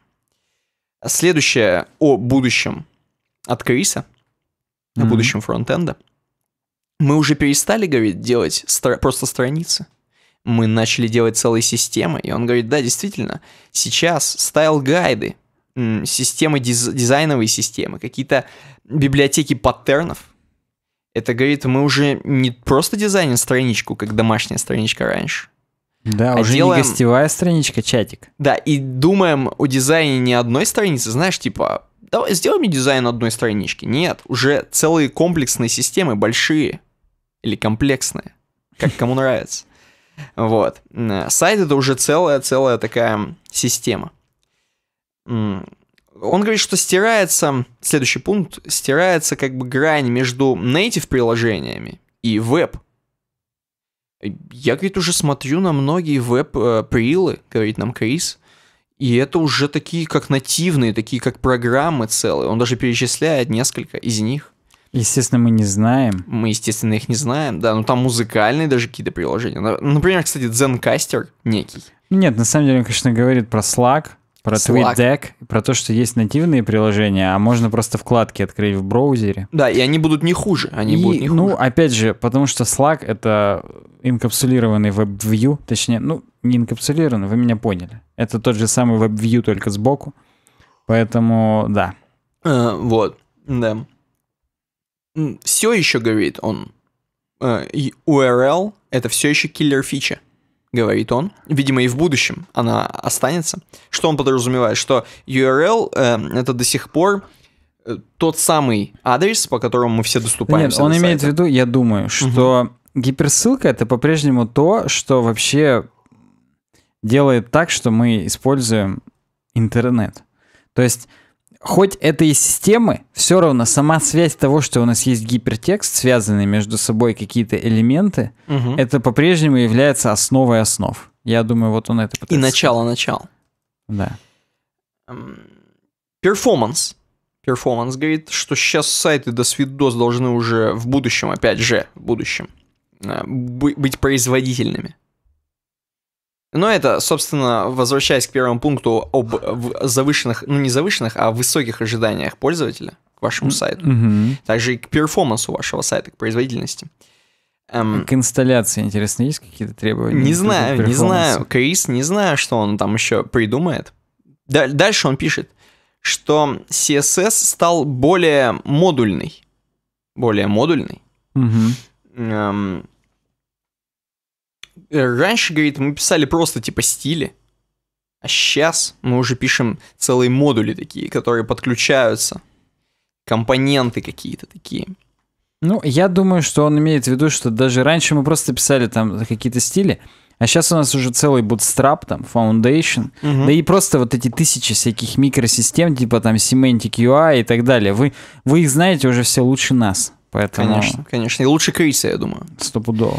Крис еще считает, что будущее фронтенда — это то, что CSS-препроцессоры будут, так скажем, затухать, уходить. Эм, я не очень понимаю, почему. Но вот по его мнению, препроцессоры все скоро будут. Ну, он просто говорит нам о том, что все уйдет в JavaScript, и все уйдет в native переменные. Вот это то, что native properties, или как там это называется, native variables, через две черточки, которые пишутся, он нам, в принципе, искренне считает, что вот эти CSS-ные переменные, они намного лучше, чем э, препроцессинг. А большинство вещей, которые мы делаем с миксинами там и так далее, лучше делать как CSS in JavaScript. Вот эта концепция, что мы будем применять прямо в JavaScript эту всю хреновину. Вот он, он He's just one guy, я просто помню это. И вот он так считает. Но несмотря на это, он все равно следующим пунктом называет э, будущим JavaScript э, хорошее знание основ HTML и CSS. Тем не менее, тем не менее, говорит, никуда не, дев... не денется то, что вам нужно будет знать основы. В любом случае. А, вот. И последнее, и последнее. Э, Build processes will get competitive. То есть э, competitive, я знаю, competitive есть, допустим, в Overwatch, в Counter-Strike. Так. Вот. Я думаю, он именно это И имеет. я думаю, что он именно об этом, что нужно свои процессы сделать конкурентоспособными, видимо. Ну да, постоянно нужно, чтобы любая хреновина, типа сборки и так далее, все вот эти галпы, веб-пеки, они будут друг с другом конкурировать для того, чтобы, когда мы заходим на наше новое суперприложение, там, реактовое или там вьюшное, у нас настолько бандл был маленький, настолько он прогрессивно подгружался, сначала основа, потом всякие другие кусочки и так далее, особенно с HTTP 2, теперь не зазорно разбивать это все на кусочки, что вот эта оптимизация, она на самом деле выйдет на первый этап, э, на первый план. И ну, это, я думаю, перекликается с его пунктом performance is a key player. То есть так или иначе, performance, она будет не только в рендеринге, но именно в build процессе. Да. Вот, что вот вот так. такое будущее фронтенда от Криса. Я не знаю, согласны вы или нет, напишите в комментариях обязательно. Следующая тема это блокчейны. Но, кстати говоря, но, кстати О, говоря, парень, жестоко, полегче. жестоко, да? Да. Жестоко. Но я тебе предлагаю э, эту тему, так скажем, не то что перенести, а наоборот. Я тебе предлагаю сейчас из тем слушателей, послед... у тебя же открыта тема слушателей? Да, Последняя самая ссылка. Открыта? Открыто. Давай с нее начнем, а потом блокчейны. То есть мы немножко из тем слушателей выдернем, а потом блокчейны. Охотно. Потому что если, во-первых, если мы ту э, тему оставим напоследок, то это лишнее будет. А во-вторых, мы просто не поймем ни хрена, потому что здесь более основы, чем то, что ты предложил в блокчейнах. Короче говоря, TS, TSAR Tsar Hart, вот я понял, Tsar Hart, Ну да, царь Харт. он говорит, Царь «Привет, Харт. Цархард, привет, а расскажите, пожалуйста, про майнинг-истерию. Из-за майнеров уже невозможно купить флагманские видеокарты. Наступил настоящий дефицит, например, AMD RX 470, 480, 570, 580. Их майнеры больше всего любят почему-то. И даже Nvidia 1060, 1070 просто пропали с прилавков. А если есть, то по завышенным ценам. Как ком собирать теперь? Какой-то психоз начался, просто все, кому не лень, майнят. Люди с работы увольняются, а машины продают только чтобы собрать ферму для майнинга. Такое страшное дерьмо нам рассказывает царь Харт. На самом деле, царь Харт, аминь. Флагманскую видеокарту не можем купить. 1080 Ti продайте кто-нибудь асусовский O11G модификацию. Мгм. Нигде нет вообще. Прям проблема мне в жизни. Ну вот, первая тема. Хабр раз открывать или Хабр 2? Ну, давай с первого начнем. Ага. Э, здесь какой-то типа как туториал помеченный, майнинг и как он работает, матчасть. Так. Здесь нам рассказывают сразу же в этой статье. Если вы вообще хоть раз слышали слово майнинг, а наверняка это так, то давайте немножко погрузимся в тезаурус, в тот самый, М. на Тауреге, эм, в термины, которые используют майнеры, так называемые. Это, например, кошельки. Так. Кошельки, да? Кошельки у майнеров. Это каждый кошелек это случайно сгенерированная пара ключей. Собственно, адрес кошелька это хэш от публичного ключа. Ух, Так его можно однозначно идентифицировать. Нормасик? Уже прям... Транзакция запись о том, с какого кошелька на какой какая сумма переводится. Ну, это естественно, так, если подумать головой, да? Мгм. А также время и дата операции. То есть тебе, в принципе, в транзакции надо хранить много всего, и это все захешировать. Мгм. То есть э, кто, кому, чё, куда, во сколько и как. Так. Э, Подтверждение. А, Чтобы транзакции узнали и, все себе ее, и все себе ее записали, необходимо ее подтверждение, которое получается в результате создания нового блока. Мгм. А я вам напомню, напомню, ну дальше мы еще посмотрим это опять же в следующей статье, что э, вообще главная идея майнинга это создание вот этих вот блоков, так называемых. Блоки, которые по- э, впоследствии свяжутся в блокчейн некий. И это тоже мы посмотрим. Так вот, вот Ой, это- напоминаешь. Ой, прям напоминаешь вообще. так вот, блок, блок — это служебные данные, плюс список транзакций, плюс номер кошелька майнищего, плюс волшебное число. Мгм. То есть, опять же, это такой хэш некий. Э, цепочка блоков. Ну, вот это блокчейн, э, последовательность, э, блоки по ID. Они как бы соединяются. Начало. Здесь, короче говоря, сразу описывается как бы алгоритм вообще работы, я так понимаю, майнинга. Сейчас как бы просто я пытаюсь не то чтобы даже... На всё- перегонки, я понял. не то чтобы, да, это все прочитать, потому что, ну, это до свидания, до свидания. Что здесь нужно понимать? Что здесь нужно понимать? Короче, сам факт того, что вы создаете вот этот хэш, эм, он должен быть очень сложным и таким, чтобы если хоть что-то вообще ты поменяешь, Мгм. весь хэш сменился полностью. Мгм. Э, вот хэш одного блока, который ты сделаешь, так скажем, на, намайнишь, он эм, должен быть охрененно сложным, лег- э, быстро меняться, и чтобы как только, если ты хотел подобрать этот хэш, так скажем, транзакции, там что-то, короче, начать подбирать, эм, при любой подборке, так скажем, хэш менялся легко. И ты, ну, в смысле, ты не мог его никак подобрать. Короче, это супер защищенная тема. Мгм. Вот. М, Здесь есть не- некоторые темы про то, что в этой же статье, про то, что на самом деле, почему сейчас биткоин так сильно падает в цене там, и его так сложно намайнить. Э, Потому что, короче, он уменьшается, там каждый раз он в два раза уменьшается, каждую вот эту итерацию. Там есть итерация некая у биткоинов. Мгм. И это, как знаешь, итерация нанометров у чипов. Типа, что каждый раз там в сколько-то раз, я уже забыл, закон э, кого-то там, кого-то там, подскажи мне. Какого-то Мура, по-моему. Да, да, какого-то Мура. Не Алана Мура, который комиксы пишет. Нет, по-моему, Томаса Мура. Просто закон Томаса Мура. Или Моргана, там вот мне сейчас было. Ну, Моргана Фримана только. Или Капитана Моргана, например. Э, Закон Мура, эмпирическое наблюдение, согласно которому... Да, закон Мура, я был прав, но вот по ходу дела не Томас, он ни хрена сейчас. Ну-ка. Количество транзисторов на кресте удваивается каждые 24 месяца. Ну да, Гордон Мур. он. Хорошо. Ну, слушай, мы никогда не знали, что он Гордон, мы знали, что он Мур. Да. Мур-мур-мур. Короче, вот здесь то же самое. Здесь то же самое с эм, вот этим вот, э, с биткоином. Он в два раза каждую итерацию там понижается, и поэтому скоро он, кстати говоря, может прийти в ноль в какой-то момент. Но это в 2070 каком-то там году. И он придет в ноль, соответственно, короче, хрен знает, тут даже автор не, не знает, что может случиться с биткоином такое. То есть он вообще не будет нисколько стоить, по сути. Э, ну давай, э, окей, давай немножко перейдем в следующую тему, которая Bitcoin in a nutshell mining. Ты, кстати говоря, мне написал, э, у тебя был очень классный комментарий в Slack е. Про майнинг круть у тебя было написано. И здесь действительно круть. Я просто удовольствие получаю от этих тем. Две отличные темы.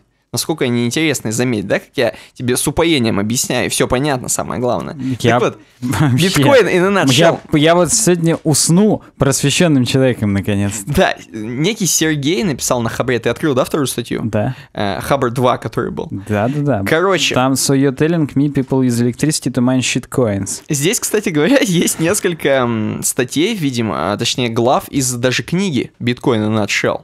Cryptography, transaction, protocol, blockchain и майнинг. И, как я понимаю, это вот какой-то кусочек из майнинга мы смотрим. И здесь более подробно написано. Во-первых, майнинг, что это такое? Сразу. Вдруг кто-то не знает. Мгм. Деятельность по поддержанию распределенной платформы и созданию новых блоков с возможностью получить вознаграждение в форме имитированной валюты и комиссионных сборов в различных криптовалютах, в частности, в биткоинах. Производимые вычисления требуются для обеспечения защиты от повторного расходования одних и тех же единиц валюты, а связь майнинга с эмиссией стимулирует людей расходовать свои вычислительные мощности и поддерживать работу сетей. Это Мгм. прям с вики. То есть мы должны как бы создавать блоки, так называемые, за которые нам будут платить баб- бабки, так называемые. Мгм. Опять же, это все так называемое. Если говорить на пальцах, то майнинг это критически важный для биткоин процесс, состоящий в создании новых блоков и преследующий сразу две цели. Первое – производство денежной массы. Каждый раз, когда майнер создает новый блок, ему за это полагается награда в энное число монет, Мгм. которые он потом где-нибудь тратит, тем самым запуская в сеть новые средства. Ну, то есть нам нужно потом обеспечивать эту хреновину чем-то реальным. То есть где-то это потратить, купить колбасу. Ну, только там у них. То есть, грубо говоря... Наркотики, ну, я скорее. сог- О, ну что колбасу. Оружие, да. Книги Ну, для книг. Хорошо, колбасу. Ну окей, окей.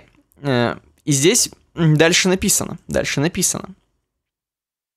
Здесь, короче, сейчас опять же сориентируюсь, чтобы перейти к интересному. Здесь все, в принципе, интересное в этой теме, но хочется к самому интересному. М, Даже не знаю, к чему-то подступиться. Здесь есть даже код. Здесь есть даже код. Но не хочется, не хочется сейчас на него смотреть пристально. Ам, Бит... Mining for Dummies. Здесь есть еще такой абзацик. Давайте постараемся еще раз представить процесс майнинга на нашем пока что примитивном уровне. Ну, то есть, не пока что, а в принципе на нашем примитивном уровне. На нашем навсегда примитивном уровне. Существует сеть с кучей участников. Некоторые из участников называют себя майнерами. Они готовы собирать на своем ПК новые транзакции. Вот, как я и сказал, вот эти Мгм, хэши. мгм. Проверять их на валидность. Потом каким-то образом майнить из них новый блок. Раскидывать этот блок по сети и получать за это денежку. Логичный вопрос. И если все так просто, то почему этим не занимается каждый участник сети? Как У мама. меня этот вопрос все время Да, возникает. как обычно мама говорит, ты что, думаешь, один такой умный? Да, а если тебе скажут с 15 этажа майнить, тоже будешь? Тоже будешь, да. Понятно, что если все было бы так, как я сейчас описал, то блоки выходили бы по 100 раз в секунду. Валюты было бы столько, что за нее никто не дал бы и цента и так далее. Но, но, некий Сатошич, Сатоши, который придумал это все дерьмо, он, вы, он придумал алгоритм. И алгоритм, он как бы сдерживает, получается, людей, чтобы они там по 100 в секунду блоков не делали. Создание нового блока вычислительно сложная задача. То есть тебе нужны супербанки, которые сделают один новый блок, условно говоря, да? А, На вычисление нового блока у всей сети уходит 10 минут в среднем, то есть еще временем подкреплено. еще. Ты не можешь каждую секунду выпуливать блоки. Это Да. искусственно или, или что? Или Ну просто да, такая помощью алгоритма. сложность? Ну, видимо, такая сложность, да. Ну, то есть это не просто задержка и простаивают мощности, потому что есть пауза. Это, наверное, именно они все 10 Ну, минут что-то наверняка. выдрачивают. Да, супер алгоритм, супер алгоритм. Хотя написано, что суть заключается в том, что оно заранее установлено. А, ну, видимо, задержка, видимо, задержка. Короче, вот. Смотри, Мгм. Более того, время не зависит от- числа участников. Но однажды, если майнер станет в 100 раз больше, то алгоритм должен так изменить свои параметры, чтобы блок стал находиться сложнее, и блок тайм опустился обратно в окрестность 10 минут. То есть они все равно изменят правила игры так, чтобы подкрепить ценность, чтобы это было все-таки, ну, чтобы потеть, попотеть пришлось. Ну, это да, это да. Сатоши, он, в принципе, же не тупой дурак. Ну да, то есть он-то тоже из этого хотел денег заработать, я так чувствую. Думаешь, там про деньги, да, все? Думаешь, это не просто прикол? Думаю, да. Посмотри на отличную гифку, которая, по-моему, все рассказывает нам, как майнить на самом деле. Не, не то, что я вам там говорил, а посмотри, какая гифка. Вот. Она прекрасна. Вот так берешь, просто и бьешь видеокартой, и у тебя летят монетки, те самые биткоины. Биткоины. Эм, вот. Ладно, господа, господинские, давайте перейдем к теме про блокчейны конкретно. Просто чтобы чуть-чуть сверху снять пенку блокчейнов. Э, Вот. М, Я ищу просто. Не Я- то, чтобы я скулю. Я, я, если честно, уже и скулю. Так вот, это нам фронтендер прокомментировал, говорит, респект за прошлый подкаст. Было, как всегда, интересно и весело. Возможно, в этот раз ему не будет так весело и интересно. А может быть наоборот, Хочу, возможно, говорит- он больной ублюдок, и ему наоборот больной. как раз круто. Хочу, говорит, предложить рассмотреть такое явление, как блокчейн. Э, не припомню, чтобы уважаемые астронавты обсуждали ее чудо. Я бы сам, если честно, не припомнил это, но, ну вот, говорит, статейка для затравки. Опять же, с Хабра, где еще же может это быть написано на Да, Хабре. да, только Статья, там. на которую можно ссылаться, что такое блокчейн. Казалось бы, здесь все популярно должно быть написано. Так вот, давайте. Блокчейн — это, говорит, надежный способ хранения данных о сделках, контрактах, транзакциях, обо всем, что необходимо записать и проверить. Сегодня блокчейн проник практически во все сферы жизнедеятельности, готов в корне изменить финансовую систему государства и в разы упростить работу среднего и крупного бизнеса. Ну, по блокчейну есть дохрена статей, это естественно. Принципы работы. Суть работы блокчейна, как цепочки блоков, можно сравнить с пазлом. Блок — это массив данных. В него вносится информация о транзакциях, которые попали в сеть после создания предыдущего блока. Примерно за последние 10 минут, те самые по Сатошичу. Мгм, мгм. Каждый новый блок данных крепится к предыдущему с помощью сложных математических алгоритмов, что позволяет скрепить эти блоки на века. Чтобы создавать... Я не понимаю, зачем на века скреплять конкретно. но, Видимо, чтобы никак не расшифровать. Чтобы создать новый блок, необходимо вычислить его криптографический отпечаток, хэш, удовлетворяющий определенным условиям. Эм, Я не знаю, вам стало ли вам понятнее? Вообще должно было. Ну, просто мы вычисляем блоки, рассылаем это всем по сети. То есть, я так понимаю, все майнеры еще к интернету должны при- быть. Ну, хотя это очевидно. Это очевидно, да. Как, как иначе вообще весь обмен будет происходить? У них есть еще специализированные сайты, на которых ты можешь посмотреть, намайнил ты что-нибудь или нет. Ну, стопудово, конечно. Вот. Э, Я не знаю, если бы, знаешь, у нас был здесь... э, Было бы круто, если бы у нас здесь сидел такой чувак, который супер профикус по майну, и он такой бы сказал, знаешь, да чтобы там один блок намайнить, вот один блок. Мне просто интересно, на какой, э, допустим, в среднем там на какой-нибудь банке определенный, на один блок надо намайнить, знаешь, там год сидеть. И это да, будет- хочется просто к сухим цифрам, если честно, перейти. Вот, но здесь нет никаких данных, потому что они меняются. Мы сами знаем, что биткоин это нестабильная валюта очень. Ну, слушай, хоть бы на какой-нибудь момент это было. Ну, то есть, смотри, условно нам кто-то после этого пишет, блин, чуваки, я уже на Багамах живу до свидоса, у меня здесь майнинговая ферма, потому что там дешевая электроэнергия. И вот там моя статья на медиуме. Может быть, фронтендер живет на а, богамах. ты Стопудово. Вместе с э, Славой Абрамовым. И им роботы майнят там. дру- Друг другу они там майнят. И да.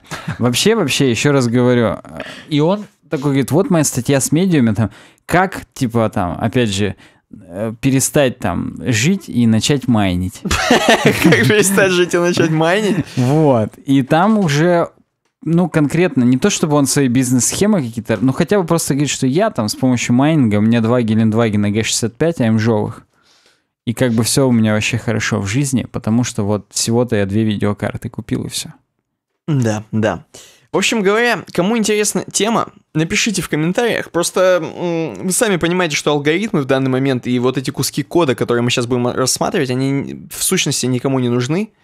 Эм, Те, кто сильно интересуются, они и так посмотрели, скорее всего. А те, кто на поверхностном уровне, ну вот мы объяснили про блоки, соответственно. Поэтому... И про чейны. И про чейны, и про чейны. Да, давай еще последнюю темку из разработочки. Она вроде бы как твоя. Это тоже от фронтендера, между прочим. Ты на меня стрелки-то не переводи. Статья называется «Как поменьше беспокоиться о собственной бездарности». Вот это интересно, вот это интересно. Актуально, согласись, да? Это всегда актуально. Да, статья на блоге Alconost а, в, на Хабре, естественно. Это перевод. Перевод. Где у нас здесь перевод? Я пытаюсь просто найти ссылку на оригинал, но, видимо, она в конце уже будет. Хочется понять. Нет ссылки на оригинал. Провал. Короче говоря, есть такое явление, как синдром самозванца.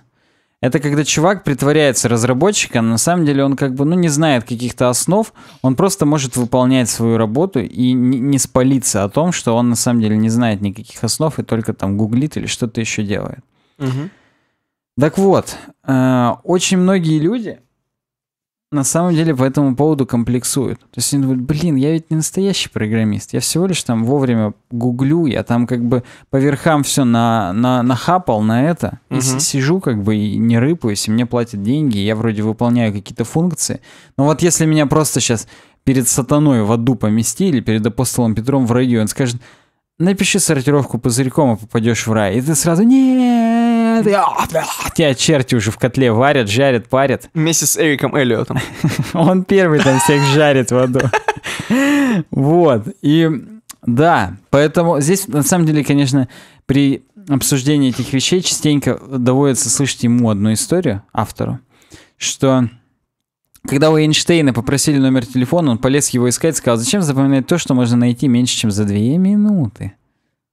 Он что там, намайнил телефон? свой? Он просто, что на бумажке у него записан номер телефона, и нахрена ему его запоминать? Гений. Вот. И что здесь, ну вот здесь пишут, что в 80-е в ботанике могли зачислить просто, зачислить просто за то, что у тебя была энциклопедия. Ты как бы ее мог даже не читать. Но сам факт, что у тебя была энциклопедия, и, допустим, ты там прочитал две какие-нибудь страницы из нее, ты говоришь, слушай, вот, вот как бы я-то читал, что там вот то-то, то-то, то-то, то-то. Но это так сейчас в интернете любят делать. Ну, видимо, вот в 80-е до интернета в энциклопедиях так любили делать.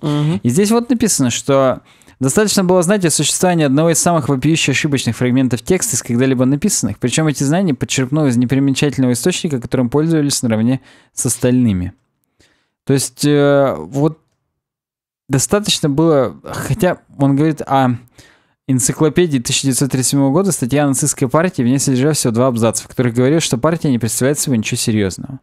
Ну, как бы потом уже понятно было, что после 937 что все-таки она представляла достаточно серьезное. Мгм. Но вот да. Это, это к тому, что на заборе тоже написано, но не факт, что это как-то вот да. Но люди уже готовы субъективно оценивать, что там чувак про функциональное программирование написал статью, о, он шарит, он там гуру до свидос. А это Эрик Эллиот, возможно, побирается. На гаражных распродажах продает там тумбочки мамины, бабушки. Я думаю, гитары свои.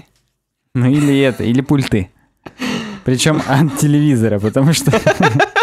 Которые в полиэтилене у него до этого лежали. Э, И то же самое, вот Адам Сильвер написал статью про floating labels. А мы вот не будем думать, что он крутой. Мы видим, что он лошара какой-то просто в энциклопедии где-то что-то там прочитал, и не дочитал и так далее. Поэтому суть здесь о том, что это все, конечно, хорошо, что вы можете себя корить за то, что вы там не знаете на самом деле fundamentals и так далее. Но, говорит, время, когда программировали только чуваки, которые готовы сидеть и спорить о скорости работы оператора пред... Как же это там нахрен-то? Короче, когда и плюс плюс, и плюс плюс, и. Ну, это оператор инкремента, только один пред... Ну, как-то они, блядь, называются, я не Ну, помню. мгм. Короче говоря, вот уже прошло время тех энтузиастов, которые будут сидеть и спорить как быстрее, там, которые будут выдрачивать каждый алгоритмик. И на самом деле, слава богу, по мнению автора. Потому что, ну, пусть эти люди останутся, они проектируют системы наведения ядерных ракет, потому что там все должно быть идеально, там какие-то космические системы. Но из-за того, что программирование с тобой становится более мейнстримовым, спрос на программистов растет просто по экспоненте, спрос на само ПО растет по экспоненте, теперь ПО не обязано все быть идеальным. Просто, ну, физически не бывает так по закону сохранения энергии. Если что-то становится более количественное, то качество э, падает. Мгм. И поэтому вот не надо себя, говорит, корить, потому что мы просто живем уже в другое время. Мы живем во время, когда программирование это уже просто, это как еда уже, это просто, знаешь, как каша. Раньше это было изысканное блюдо в ресторанах, а сейчас это уже просто каша быстрого приготовления. Уже все программируют, все выполняют просто какие-то функции. Это как вот раньше продажи.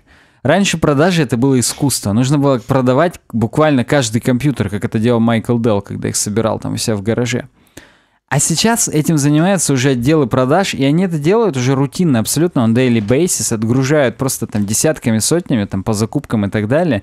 И никто уже не сидит и не рассуждает, вот, блин, какие продажи классные. Вообще, вот продажи это прям вообще вот кайф. Никто уже не получает от этого кайфа, это уже жвачка. Вот так же и программирование, оно уже перешло в разряд жвачки, к сожалению. И, ну, вот он и говорит, если вы считаете, что вы не тот самый программист, который будет делать ядерные ракеты, ну и забейте, вы хрен. Вы просто программист-жвачка. И делаете жвачку, и как бы... Но зато вы в отделе продаж, так сказать, вы выполняете такие же функции, как отдел продаж, и вы их устраиваете. То есть они говорят, надо увеличить продажи там так-то, так-то. Вы допиливаете пару новых кнопок, доделываете там какой-нибудь call to action, и все, у вас уже возрастают продажи, вас хвалят, все хорошо, а, а вы все так же понимаете, что я всего лишь нагуглил, там, как увеличить, как улучшить, какой синий цвет здесь использовать, это делаете, и, и да не, не, не слушайте снобов, которые обязательно скажут, что каждый разработчик должен знать X. Угу. Не надо знать никакой X, надо просто выполнять свою работу, которую вы должны делать на этом месте, как шестеренка. All in all, we're just all in another brick in the wall, короче говоря. Не, ну э, согласись, что какой-то опыт у тебя все равно будет накапливаться. Ну, у, у нас ответственных людей будет. Я уверен, что есть какая-то часть программистов, которые вот 10 лет проработают на месте, а потом выйдут оттуда, и у них вообще ничего в голове не останется. Они ну... так и будут полностью... Они как выплюнут, это как жвачку, и возьмут другую жвачку, там, я не знаю, будут там просто что-нибудь стоять на улице с протянутой стоять. рукой, я не знаю, или играть на банке. На. Ну и здесь он в конце подбадривает, что собеседование это чушь.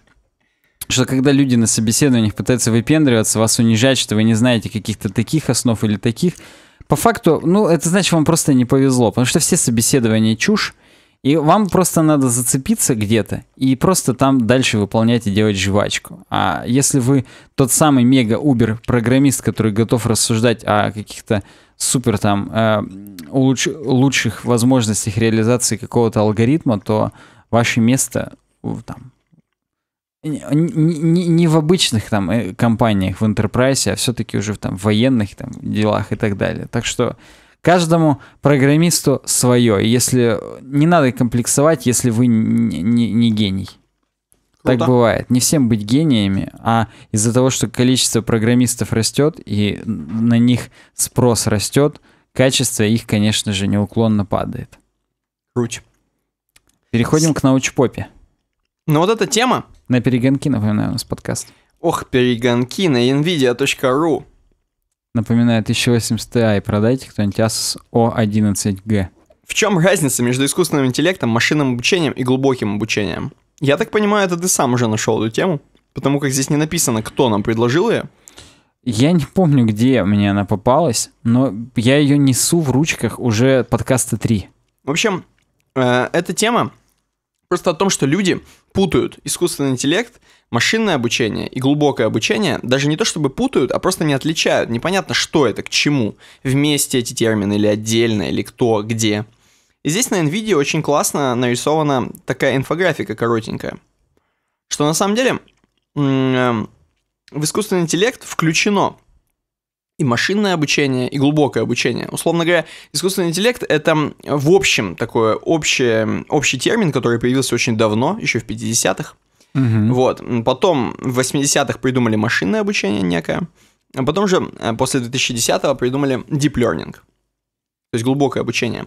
Здесь очень такой хороший пример, на самом деле, написан о том, что, вот, допустим, представим себе, эм, что, так, я сейчас э, вспомню, вспомню, глубокое обучение. А, короче, представьте себе, что просто искусственный интеллект, который изначально был в 50-х, это еще когда его придумали, еще с тогда, с 50-го года, просто когда мужики, ученые mm-hmm. такие говорят, блин, мы же с помощью компьютеров, там еще с помощью хрен чего, перфокарт, не, неважно, с помощью электроники, еще той, можем же как бы симулировать, придумать так, чтобы симулировать искусственный интеллект, типа интеллект, мозг человека условно, да, интеллект mm-hmm. человека.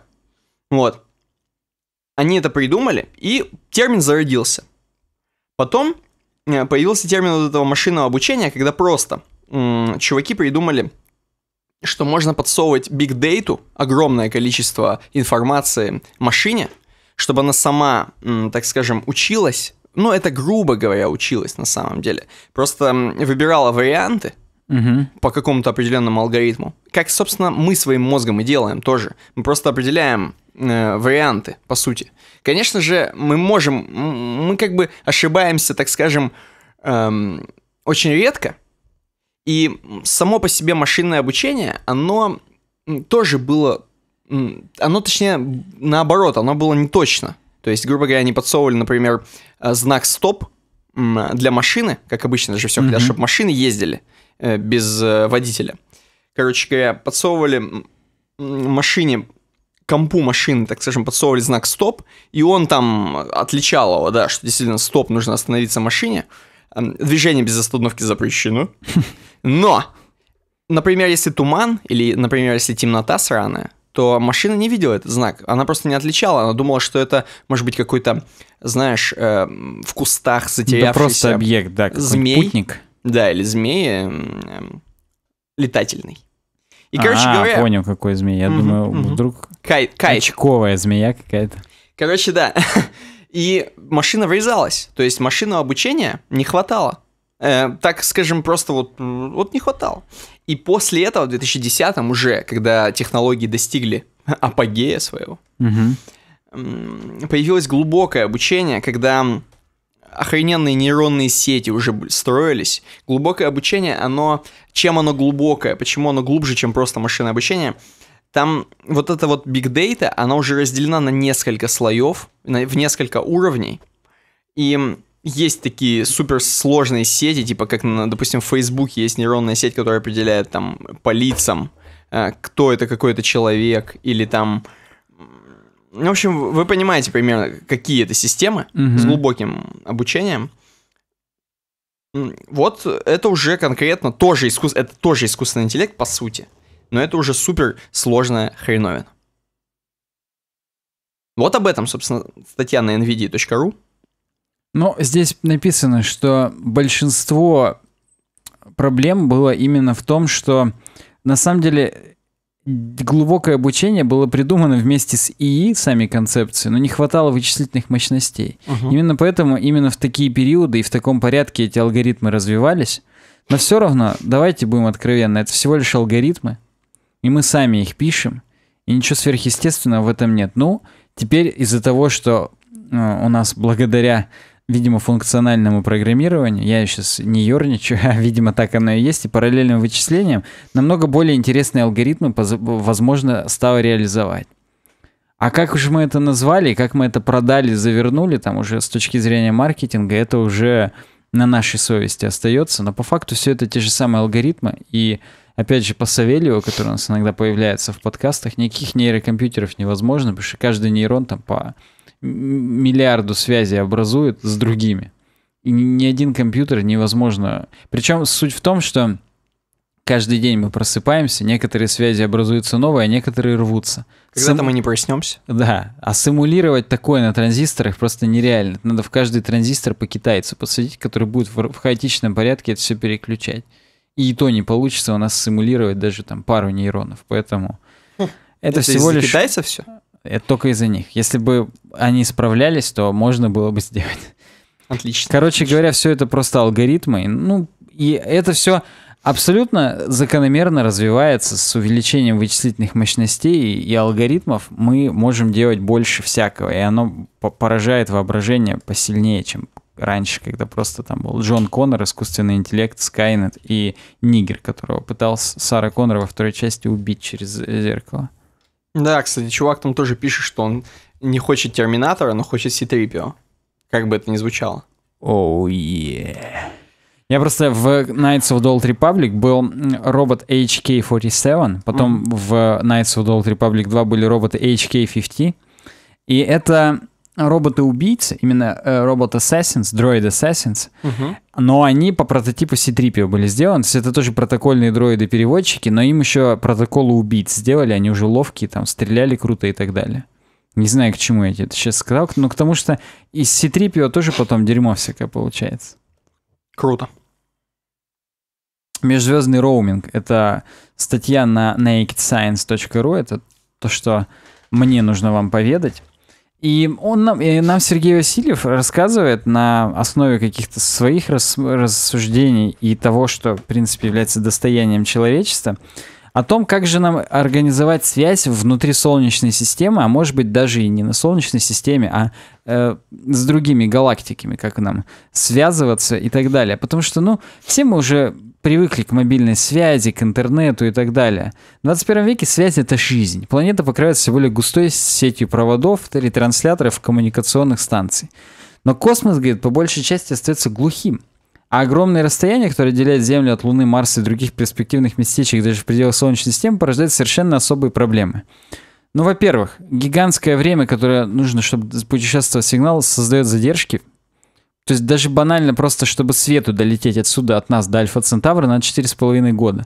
А у света скорость на секундочку 3 на 10, там, 63 степени. Или, какой-то, или там... Ну, короче, как 3,8 на 10 в... насрать. До хрена. И нам никогда этой скорости не, не достичь.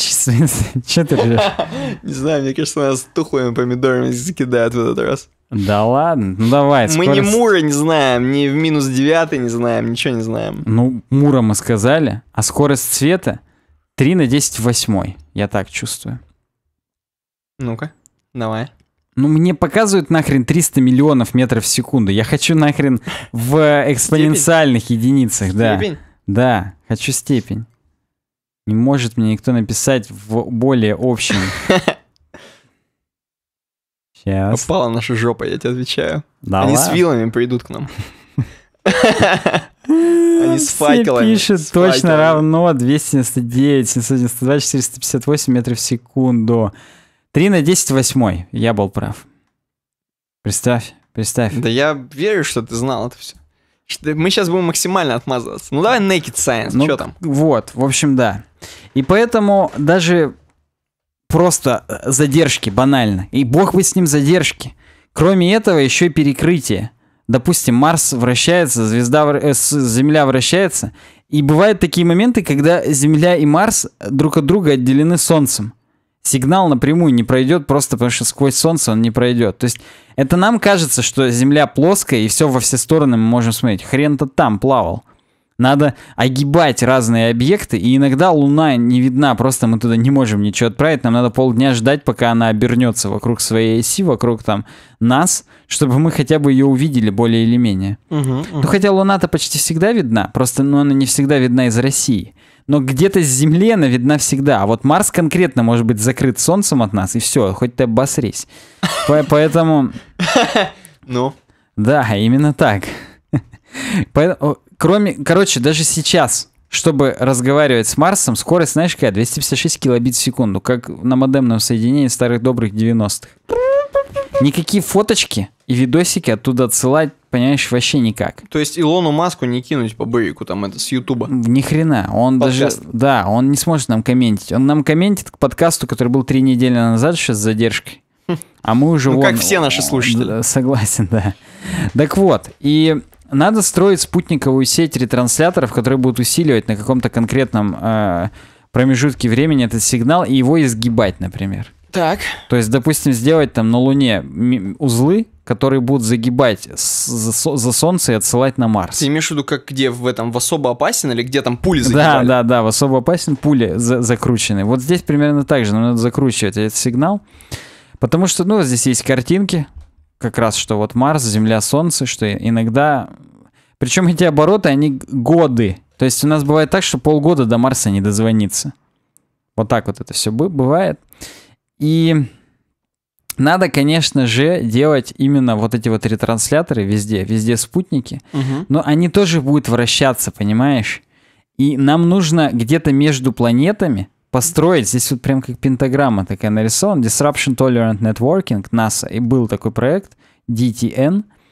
Э, в 2008 году успешно, между прочим, испытали такую хреновину. Короче говоря, сеть ретрансляторов таких, которая в центре всего крутится, и во все стороны может э, общаться и связываться, мы будем через нее. Напоминает сразу э, сеть вот этих типа, как-то там, ну, в Mass Effect, короче, чтобы между галактиками телепортироваться, надо было подлететь к такому хабу, он тебя в гиперскорость выплевывает к другому такому хабу, уже в другую галактику. Мгм. То есть вот, ну, здесь что-то подобное, конечно, я... Да. Кроме этого, почему вместо радиоволн нужно использовать лазер? Потому что радиоволны на таком расстоянии, они рассеиваются до свидос. И плотность очень маленькая, поэтому видосы вообще не пересылать. Если, например, использовать лазер, то уже 622 мегабита в секунду до Луны попрет. Ни хрена себе. Это от Луны к Земле. С Луны скачать 622, на Луну закачать 20 мегабит в секунду. Но слушай, все равно неплохо. Да нормально. Это пр- пр- практически 3G-шка. Можно даже стримы какие-нибудь смотреть. Ну и, короче, лазер это более перспективно. И да, и этим сейчас занимаются реально разработчики многих вузов. То есть вот э, пытаются прям делать. Называется это э, Deep Space Optical Communications Project. Нет, а вопрос, нахрена этим вообще сейчас заниматься? Это же, это же для сильной связи, типа, сделано, условно говоря. Это когда мы действительно уже там будем жить, когда мама с папой у тебя на Марсе. Ну, не А важно, на Венере. даже когда отправляешь какие-то экспедиции, сейчас задержки там дни, годы, недели связи с Curiosity и прочими там кораблями, которые туда отправляются, межпланетными станциями. Мгм. А если бы не было никаких задержек, мы в реал-тайме смотрели как вебку. Как охранники на 10 мониторах. Думаешь, надо нам это? Ну, уже бы мы быстрее знали, что там что-нибудь взорвалось и так далее. Здесь эм, говорят о таком проекте, я, я если сейчас вспомним, межзвездные крейсеры. Был реально проект Икар, э, не был, он разрабатывается. Пришел он на смену проекту Дидалу, который еще в 70-х разрабатывали в Великобритании. Короче, гигантская хреновина, крейсер, отправляется на Альфа Центавру, и за собой каждые там 10 световых лет выкидывает бочку, которая сигнал ретранслирует.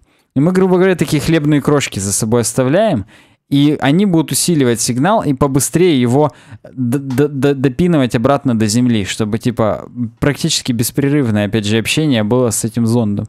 Ну и там, естественно, как в «Чужом», такие корабли улетают, и на много десятков тысяч лет, видимо, они улетают уже вперед, и долетят они, когда уже на Земле все равно ни хрена не останется. Круто. Но кроме шуток, такие проекты реально сейчас в реализации находятся.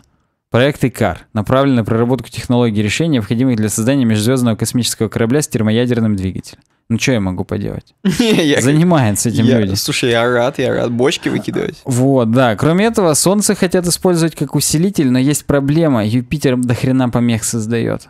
Вот газовый гигант прям мерзавец вообще. Все не, не дает. Поэтому как бы вот не крути, а массивные объекты отклоняют проходящее излучение, сбивая его с прямолинейной траектории, работая как гравитационные линзы. И можно как бы это и в лучшую степень использовать и загибать. По особо опасен, опять же. Широко используется для наблюдения далеких... Щищи. Ну, Ты просто говоришь щищи, Рако. Ну-ну-ну, и чё? В общем, для концентрирования радиоволн такая линза в кавычках или лазерного излучения поможет. И ускоря... мы как бы специально направляем на планету наш луч лазерный, она от него ускользает и чуть-чуть ускоряется. И как бы на самом деле вот э, я не помню, то ли это в каком-то кино было, то ли в реальной жизни. т- Траектории кораблей примерно как знаешь, когда едешь за дальнобойщиком, ты находишься в подушке, у тебя меньше Ну, расход топлива. Вот тут примерно так же. Траектории кораблей рассчитываешь, чтобы они э, вскользь между планетами летали и ускорялись от этого, и было бы круто. Вот нам надо траекторию линий связи также строить, чтобы они скользили по планетам, от этого ускорялись и, и быстрее летели. Гениально. Я знаешь, что еще хотел сказать? Небольшую ремарочку, что вот когда горохового супа поешь, тогда ты газовый гигант становишься. Тоже помехи, искажения у тебя происходят. Да, такая вот оптический эффект можно наблюдать, особенно на, те- на тепловизоре, прям вообще видно нормально. Э, Ну и здесь, естественно, уже дальше в фантастику ушли, что если бы мы могли деформировать пространство и время по собственному желанию, мы бы не утыкивались в эту проблему того, что вот свет и свет, и ничего быстрее света, к сожалению, нет. Сейчас пытаюсь, я аж в рифму сказал, на Большом адронном коллайдере пытаются сделать так, чтобы мы в нейтрино приложили информацию, а оно ускоряется, типа, быстрее света, Мгм. и мы с помощью нейтрина передавали какую-то информацию быстрее света, но пока, к сожалению, не подтверждены эти выкладки, но пытаются ученые в ЦЕРНе прям изо всех сил. Я просто хотел сказать, что я когда мы еще в университете учили про нейтрино, а, я помню, что-то, короче, эм, Я помню, что-то, короче, передал, и оно передалось. Я да? помню, что-то, конечно, то ли батя. По-моему, батя у меня спалил это, или в учебнике, или где-то. Короче, и он поржал, что, говорит, даже они еще, когда учились, были вот эти все слухи про нейтрино, что это будет все там быстро, круть, и все еще ничего не сделано. Ну, что ты меня расстроил? Ну все, да, и все. Я когда сегодня готовился, я прям надеялся. До свидания. Опять же думал, лягу спать с надеждой, что завтра уже лазеры. Ну давай лазер. Сеанс теплой ламповой магии с разоблачением от, от Пультру. На перегонки делаем. Пультру написал на Times статью о том, что ламповые усилители на самом деле, они не круче транзисторных, они просто другие. В силу конструктивных особенностей они немножечко искажают гармоники, и спадает у них э, каждая следующая гармоника все менее и менее интенсивная и добавляет искажений. Поэтому э, звук от ламповых усилителей, он действительно другой. Он абсолютно, ну не то что абсолютно, он не такой, как задумывал автор, что называется. То есть транзисторные усилители намного более четко передают э, все частотные характеристики и так далее. Я наоборот думал ламповый, четче. Вот ламповые ни хрена не четче. Они ограничивают порядок, гармо- э, порядок гармонии пятой. После пятой уже ни хрена не слышно на ламповых усилителях. Но согласись, более ламповый звук получается. Насыщенность звука четкими гармониками. То есть те, которые 5, они четкие, а дальше уже ни хрена не слышно. Постепенный спад уровня в спектральном сочетании, то, о чем я сказал, чем больше порядок, тем ниже уровень. И наличие характерных особенностей амплитудно-частотных характеристик, обусловленных применением выходного трансформатора. Из-за того, что практически катушка гудит, Мгм. она фонит, и, грубо говоря, ну, не гул, но, короче, такое обволакивание густое получается на выходе. И вот кому это нравится, тем нравится. Но по факту это не так на самом деле. Это То как есть- мониторы, которые искажают, э, разные цвета показывают, грубо говоря. Также и... Ну, ну, может быть, да. Но, короче говоря, кому вот нравится ламповый звук, те будут использовать ламповые усилители, хорошие, дорогие. не А, там тоже нет, а ты можешь словами описать, э, в чем конкретно, как он будет по-другому звучать? Вот я тебе говорю, гул. Просто гудеть? Ну, с- э, средние частоты приподняты сильно. Угу. А высокие и низкие не так сильно приподняты. Круто. Практически ты можешь эквалайзером сделать теплый ламповый звук себе, но там ты его будешь получать нативный, так сказать, просто то, что у тебя усилительные приборы — это такие лампы. На самом деле сам кич теплого лампового звука появился в 70-е, когда транзисторные усилители были полным говном. Использовали хреновые транзисторы, хреновые схемы, и все прям из ряда вон плохо было. А сейчас транзисторные усилители уже есть реально крутые, они все отвечают философии хай-фай. А лампы вообще ни хрена не, отлич- не отвечают философии хай-фай, просто потому что у них э, коэффициент гармоник может достигать 3-5%. Угу. А это слишком уже много. Коэффициент меньше должен быть, насколько я понимаю. И, ну, тут опять же, здесь э, пульт.ру, они прям прописывают про каждую конкретную хреновину, про каждую конкретную гармонику, на сколько процентов э, это что-то обнаруживает большинство людей, что обнаруживают профессионалы и так далее. Поэтому в сухом остатке вся магия. Это действительно теплый ламповый звук, это действительно красивый звук, если это слово применимо к звуковоспроизводящей аудитории. Он красивый, теплый, но в большинстве своем менее точный. То есть он такой гулкий, обволакивающий, но по факту звук этот был должен звучать как бы и не так. И какой усилитель каждый выбирает э, сам. Кому-то нравится именно звук ламп. Им не музыка нравится, а звук ламп. Потому что они там подгудивают и так далее. Ну, я, я причем утрирую. Они не так подгудивают, что прям два разных звука. Это надо еще вслушиваться, слышать. И еще и прям вот... э, еще, еще и по синдрому самозванца прикидываться, что ты это слышишь, хотя на самом деле ни хрена не слышишь. Ну, это уже такие, знаешь, люди-мотыльки, которым нравится звук ламп. Я бы их так назвал. Ну, я одно время исповедовал вот это вот все, сам не зная, что исповедую. Я слышал несколько ламповых усилителей маршалов, вот этих крупных с кабинетами, колонок, но вот я не уверен, что я сейчас на слух их реально отличу. Угу. То есть, ну, мне нравилось просто осознавать, что я играю на дорогой хреновине за несколько десятков тысяч рублей. Мгм. И прям вот она обволакивает меня и так далее, но в сущности от какого-то ямаховского усилителя транзисторного я вот не могу сказать, что это кардинально отличалось. Поэтому я уверен, что кто-нибудь нам в комментариях что-нибудь напишет по этому поводу, поэтому можем двигаться дальше. На Окей. перегонки. А сколько, кстати, мы уже идем? Два часа. Час 58 мы идем. То есть, по сути, мы как идем? На... У нас еще есть сколько? Да хоть сколько, но чем раньше мы закончим, тем лучше, потому что мы на перегонки пишем. Согласен с тобой. Э, тему, вот эту тему надо просто добить. Просто она висит уже как писюн, если честно. Второй подкаст. Мгм. Правда ли, что мир стал Давай более... так же, как ламповый звук ее. Прям вот. Правда ли, что мир стал более опасным местом для детей, чем был раньше? Да, правда. Переходим к следующей теме. А, Короче, в чем вопрос? Самый главный. У меня такой вопрос. В том, что, в том, что э, какого-то хрена провели исследование э, в Америке, и говорят, что сейчас э, родители больше заботятся о безопасности своих детей, все больше и больше парятся за них. Мгм. А, вот. Но надо сказать, что оказывается, чем 30-40 лет назад, примерно, я имею в виду, вот между вот этими двумя эрами, эпохами империи, эм, раньше как-то родители не так парились. И, кстати говоря, почему? Вот было какое-то проведено супер исследование, и оказывается, оказывается, смертность детей-то наоборот уменьшается. А, то есть, на- если бы, знаешь, родители по объективным причинам, то есть смертность увеличилась у детей, и они действительно Мгм. парились больше, да, то нет, смертность уменьшается. Идем дальше. Причем падает, реально падает, без приколов. А, также чуваки, погибшие там от шоссейного движения, там сбитые именно детки, тоже уменьшаются. Там, если в пропорциях посмотреть, понятно, что автомобилей стало больше этого, Так этого. вот именно, это просто банально количественные вещи. Вот, тоже И шоссе стало больше. Как бы, ну... Конечно, конечно.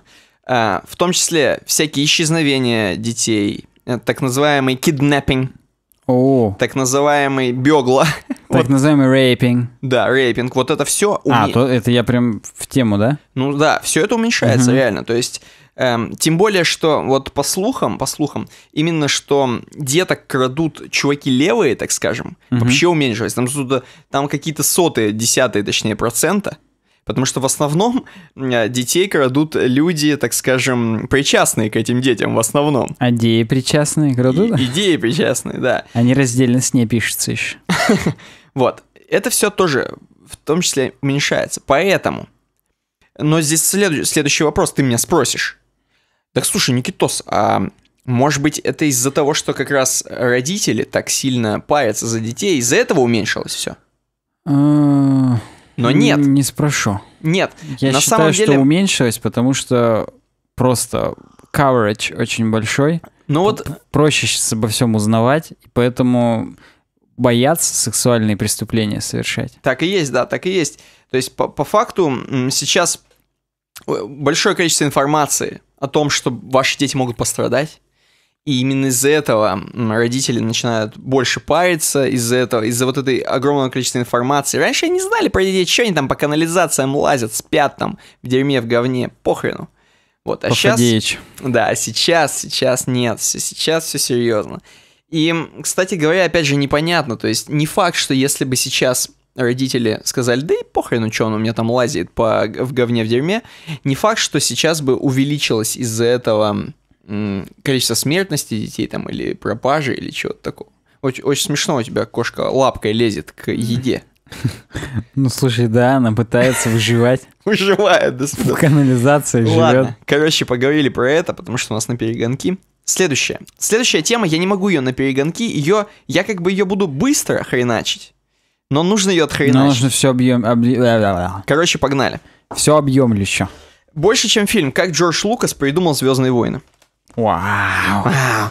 Недавно, Тоже, кстати, второй подкаст висит уже. да, висит как висяк. Недавно, 25 мая, э, было, было, я, как я понимаю, 40 лет с того момента, когда вышла премьера Звездных войн первых.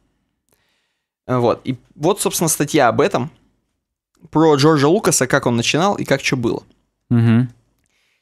Во-первых, сразу же начинается с фразы «Я ухожу к Скорсезе, он снимает Нью-Йорк, Нью-Йорк, и это настоящее искусство, не то что твой детский сад про космос и роботов», сказала Марша Лукас, когда она, она, собственно, была жена Джорджа. А, ну, они развелись из-за самый этого. разгар э, э, работы над Звездными войнами. То есть, ну, она была монтажером, насколько я помню, монтировала видосы. Мгм. Вот. И в тот момент действительно пошла к Скорсезе монтировать его видосики, его фильмы. Да-да-да. А Джорджу оставила, Джорджу оставила с Звездными войнами. Но рассказ не об этом. Рассказ о том, как поднимался сам Лукасыч и каким он сейчас стал. Вообще, короче, вот этот фильм Звездные войны эм, с самого начала сценария не задался. Он задался, э, он начинался с самого начала с фразы «Речь пойдет о Мейс Уинду», достопочтенном Джей, Джей Дайбенду из Апучи, связанном с Узби Си Джей Тапи, Си Джей, эм, учеником православного, православного, извините, прославленного джедая. И это уже сразу на- нам намекает на то, что Звездные войны, в принципе, бредятина какая-то сразу изначально была. И давайте, Лукас сначала. Погрузимся, погрузимся. Короче говоря, Лукас, у него родители были достаточно богатые чуваки. Как Росомаха. Да. Эм, они заведовали, там, по-моему, канцелярским магазином, написано, прибыльным достаточно. Мгм. Но Лукасыч, он эм, был упертый, как его батя, потому что батя ему заставлял, давай ты будешь тоже канцеляром, там, канцелярский товар будешь Ну, продавать. это прям почетно. Но. Лукасыч, Лукасыч, младший, он, не в небесной канцелярии он был канцеляром. он, короче, он был упертый и пошел в киношколу. Мгм. Эм, и учился достаточно очень круто. Он еще, он уже тогда стал, уже в киношколе, стал, так скажем, достаточно отреченным от эм, съемочной группы. То есть он в одиноково сидел, не бухал, пишут, вообще наркотики не принимал. Сидел один задротил и был отличником у себя на курсе. Мгм. Лукасыч. Между тем, э, и в какой-то момент всем отличникам в киношколе Мгм. тогда дали задание, типа, чуваки, вот есть золото Маккены, знаменитый вот этот вестерн, сделайте на него документалку, снимите, о том, как снимался фильм. То есть о А, съемках. а в смысле, они могли познакомиться с режиссером, да, они сходить все или могли, как? видимо, как-то исследования провести Или у полностью. них там в институте эти преподавали люди, которые Просто сделали практически, да, это же все было в Голливуде происходило. это. Мгм. Поэтому им это было рукой подать до таких людей, которые снимали золото Маккена. И Лукас, он блевал. Он, ему не нравилось. Ему не нравилось то, что золото Маккена снималось за огромные бабки. Вот. А его, типа, чуваки-соратники снимали видосы по 300 баксов. Ну, в смысле, Мгм. студенты. И его прям э, воротило. И он для себя решил, короче, что... э, Что Голливуд это не фабрика грез, это машина просто, да. которая перемалывает всех людей, выплевывает. Мгм. Тем не менее, он снял про золото Маккена видос, но там конкретно сюжет был о природе, в которой снималось золото Маккена. Ну, ты понимаешь, можно же разные аспекты выбирать. Вот он выбрал этот. Короче, дальше. Дальше он начал снимать реальные фильмы. Эм, и он как бы как... И такие люди, как Коппола, Скорсезе, Фридкин, э, он мечтал снимать умное авторское кино, хипстерское, настоящее. И снял э, вот это вот сцен, э, фильм THX 1138. Мгм. Футуристическое такое дерьмо. э, умное. м, такое мрачное. Холодная металлическая антиутопия, как здесь написано. Вот. И, короче говоря, он не особо попер. Я тебе скажу, он не особо попер, и бабок особо не принес. Вслед за Умная этим... фантастика всегда шла со скрипом в американском прокате, и THX не стал исключением. Фильм Мгм. с треском провалился. Причем, кстати говоря, Копполыч, Копполыч это самый близкий его был друг, Фрэнсис Форд Коппола, он тоже, по- они, в принципе, вместе с ним там э, снимали параллельно всякое, и Коппола иногда продюсером его выступал, и чтобы не взорвался сам Джордж, Видимо, по Тарантино и Родригесу. да, чтобы Джордж не взорвался, он ему всякое дерьмо там говорил, что давай нет, ты будешь делать так, и вот так, ну, в общем, часто лез как бы в его, типа, дела, в его съемки. Вот, THX, короче, не попер, и тогда Лукасыч отчаялся и снял именно не вот мрачную картину авторскую, а просто добренькую картину «Американские граффити», э, где он снял, собственно, Хана Соло. В смысле, не Хана Соло тогда еще, а Харрисона Форда, молодого, крутого. Просто про чуваков, которые путешествуют. Я даже э, вот не знал, что такой фильм. Вот был. такой фильм «Американские граффити» еще до «Звездных войн». И, собственно, «Американские граффити», слава богу, они очень хорошо зашли. Вот это доброе кино, которое на тот момент как раз и должно было быть, которое нужно было людям, оно зашло и принесло бабл- Баблинский. Э, Принесло Баблинский, и именно с того момента Джордж Лукас выкупил вообще, что нужно снимать. Он понял э, Голливуд, так скажем, он понял, как нужно общаться с аудиторией, и с того момента у него прилипла м, так называемая погоняла бухгалтер. Мы дальше поймем, почему. Он там охренеть что делал.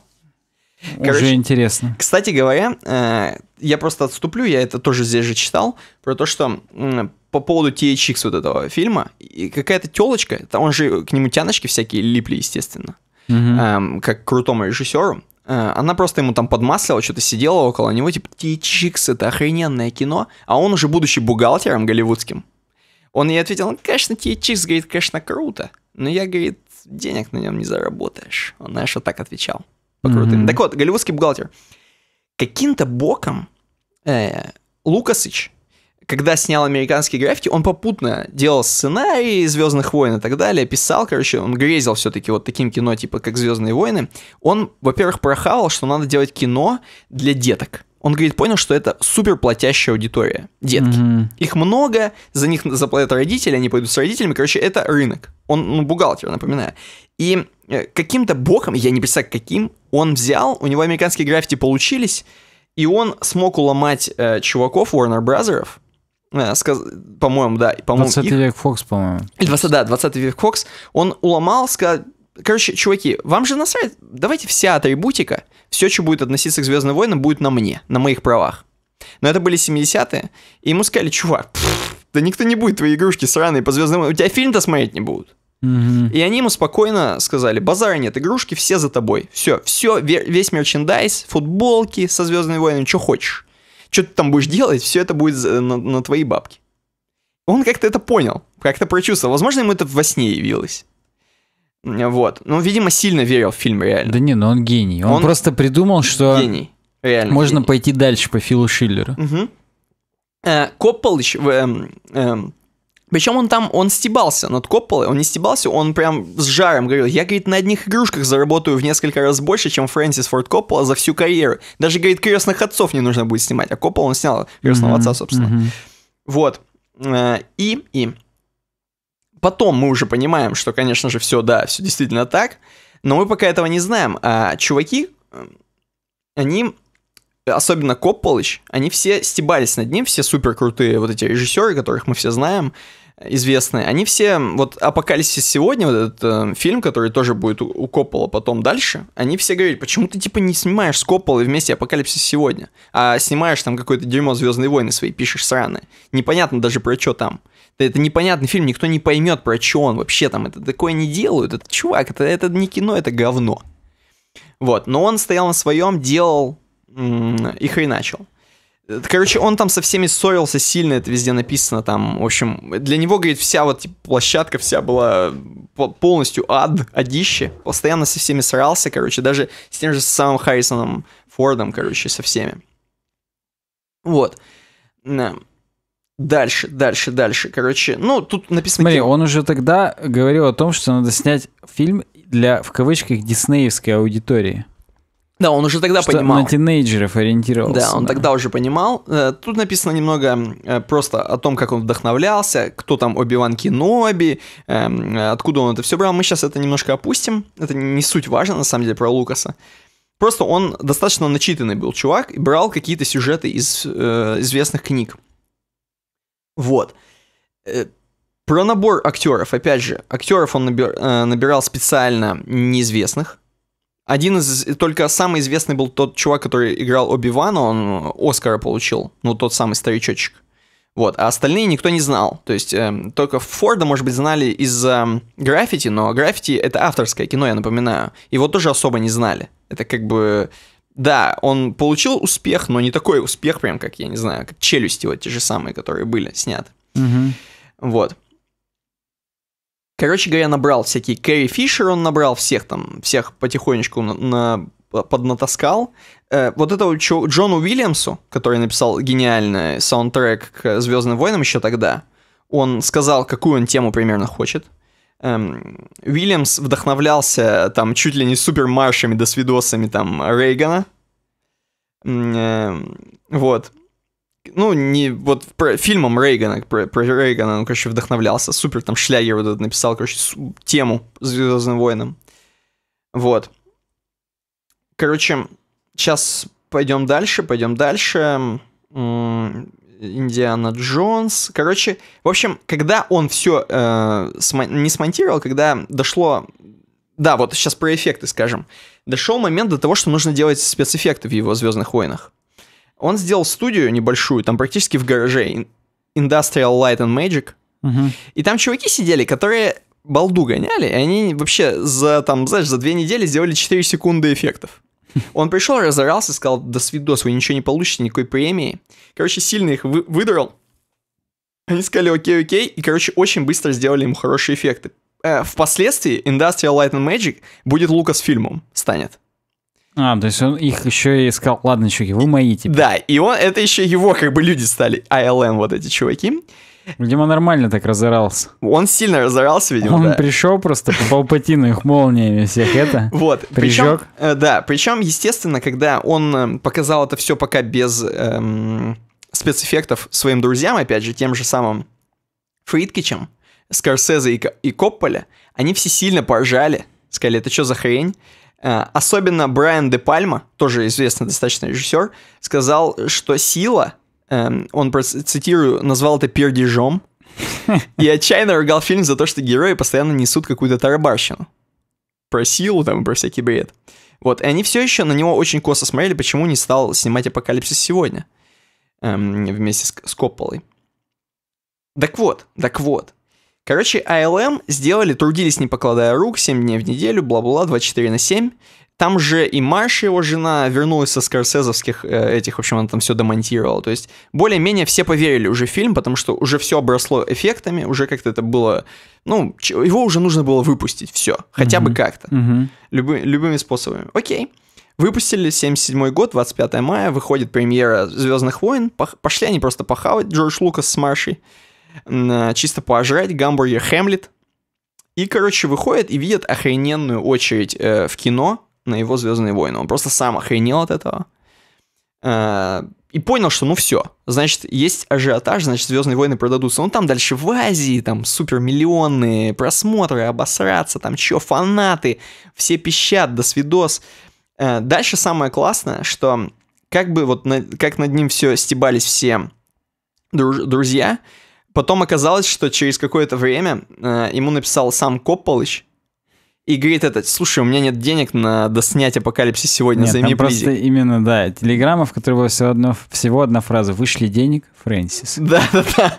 Вот. Ну, короче говоря, э, Лукас и по сей день там, он как Посейдон, все еще супер, там, один из самых эм, богатых режиссеров Голливуда, короче, он, он там легенда Диснея, занесен там в красную книгу, так скажем, и так далее, и так далее. Короче, вот один из гениев, как зарабатывать бабки и как придумать вот эту схему. Так что вот так вот, вот такая статья. Вот, Блин, ну, что говорить гений. Гений. Еще про одного гения богатого. Маск закопался. Статья еще быстрее будет. Вообще, вот это будет просто молниеносная хреновина. Короче, Маск сбрендил. У него очень много денег. Видимо, Трамп все-таки дал ему бабла. И он Да решил... кого они же там разосрались вообще, после того, как Трамп вышел. По крайней мере, он все еще не вышел, а высказал намерение, чтобы США вышло из Парижского соглашения по экологии. Маск прям вышел вне себя, и, и они прям с Тимом Куком сказали, все, Трамп, Вся война. ты это, ты ковбой. Ну, короче говоря, Илон Маск, э, тем не менее, что бы он там ни сказал, он решил строить туннель. Его, говорит, меня, говорит, бесят пробки до свидос. Давайте, говорит, просто туннель пророем. И, собственно, сказано, сделано. Они начали, не побоюсь этого слова, от офиса э, SpaceX, просто... Правильно, да, э, Во-первых, основали The Boring Company, скучную компанию, Э, The Boring Company, бурильную э, компанию, которая будет, собственно, бурить Мне это сразу напоминает вот эти бурильные аппараты, которые в черепашках ниндзя были. Да, да, да. Технодром был в- внизу под, э, под корой земли и так далее. Рокстеди и Бибоп, они высаживались каждый раз именно вот на этих бурильных машинах. Вот Маск, походу, сбрендил. Ну, он вот такой, да. Он крэнк уже просто. И он хочет, да, он хочет э, пробурить огромный-огромный туннель, чтобы, видимо, можно было изи жогать на тачке внутри там. Э, вот, и не париться, собственно, ни На с пробками, Тесле. ни с чем. На Тесле, да. Все, конец. Больше про это, я думаю, говорить нечего. Давай к темам слушателей. Давай к темам слушателей. В скобочках Просто мне это, это напоминает, как в... У нас в Челябинске метро хотели построить от завода до северо-запада. Как бы уже не актуально, тысячу лет уже ЧТЗ стоит колом. Мгм. Но вот да. Вот он так же. Мы пришли к тому, что в темах слушателей у нас Антон Экземпляр прокомментировал. Ой, опять у нас нету времени с ним э, носиться. Парни, привет! Во-первых, хочу с высоты креативного директора аж из самой Москвы, табличка сарказм, высказать свой. Выразить свой респект за ваши подкасты, высказать свое пожелание. Не слушайте никого, кто критикует вас якобы за излишне развязанную манеру. Вы настоящие, в своем амплуа лучшие в Рунете. Оставайтесь самобытными. Спасибо. Во-вторых, хотел предложить пару, как вы любите, замороченных тем, но моя концептуальная натура решила, что самое время предложить незамысловатую идейку. В общем, про идею. Э, Почему бы вам не добавить в обсуждение методологий оценку реальных сайтов, сделанных реальными людьми? Это займет у вас несколько минут, э, труда для вас не составит, вы это и так любите. Но при этом и толк будет, интерактивность шоу повысите, по- потешьте свое ЧСВ. Само собой, через какое-то время можно вывесить рейтинг оцененных вами сайтов. А для начала предложу вам сайт э, в качестве кандидата для разноса. Свой, видимо. Наш новый сайт своей Мгм. компании. digitaltelecom.ru В частности, про SAPS. Процесс создания небольшого сайта, начало воплощения той самой единорогости, unixcorn.com. Идея делать все сразу одними руками, а именно здесь было сделано все от разработки фирменного стиля с новым лого и заканчивая JavaScript до PHP, пока не добрался. Примечательно, под капотом много V- э, V- VH, практически VR, VH и REM, соответственно, приятные трансформации при изменении viewport. Почти все CSS, на, все CSS на минимум JS. Ну и, само собой, мобильная версия и так далее. То есть нету там абсолютно никакой, это не динамический сайт, там нету PHP. PHP. Да как бы динамичность не только пхпышная штука. В смысле, там нету вообще, я так понимаю, сервака. Ну, судя по тому, что он сказал... Базы. Да. Вот. Ну вот, собственно, что будем оценивать? Будешь оценивать ЧСВ, будешь тешить свое? М-м. Я не знаю, как потешить. Просто я пытаюсь уже... Все у меня У лагает меня, на под- у меня лагает. У меня лагает, поэтому ЧСВ потешить. А, тут формы, которые... О, господи. Кнопки увеличивающиеся. Тут много, так сказать, интересных Много дизайнерских плюсов. решений. Прям Много вот, плюсов. э, Да. Хорошо, давай знаешь, как сделаем? Нет. Э, Зайди в менюшечку справа, в Мгм. гамбургер. Да. Нажми на портфолио. Так, HTML-ки вижу. А, я не совсем, знаешь, что понимаю? Так. Ам, Да, ты, ты прав, видимо, ничего динамического. вот эти вот штуки, это просто ссылки как бы на сайт, ты просто можешь Э, зайти, Но это портфолио. есть пояснение, и снизу как бы просто мини-превьюшечка. Да, которую нельзя ее схватить никак. Я бы вот хотел, да, как-то пошире просто порт... Было бы прикольно, если бы здесь в портфолио было описание подлиннее, например, как у Лебедева, как они там заморачивались, как они делали центр здоровья и всякое такое, как, они, как они автози сделали. Вот. Давай контакты, да, контакты, опять же, в менюшке. Целиком. Я тут не понаслышке знаю, что такое центр здоровья при поликлинике. Ну смотри, нажимается. эм, Mail to есть. Почему нету ссылки на всей плашке, вот центр здоровья и так далее? А только вот там, где ссылка. Хотя это логично, что только там, где ссылка, но оно просто все убегает постоянно. Мгм, И мгм. самое главное, это то, что отправить запрос кнопка, хоп, и здоровое становится. Зачем? Да, странно. Зачем оно вообще двигается? Зачем вот это все мельтешение, я не очень понимаю. Но да, по поводу контактов, ну-ка. Да, как ты любишь, мейл. А почему телефон сделан не ссылкой тел? Хотя у меня, в принципе, понимает э, компьютер, что это фейстаймное дерьмо, и можно сделать аудиовызов. Но нет.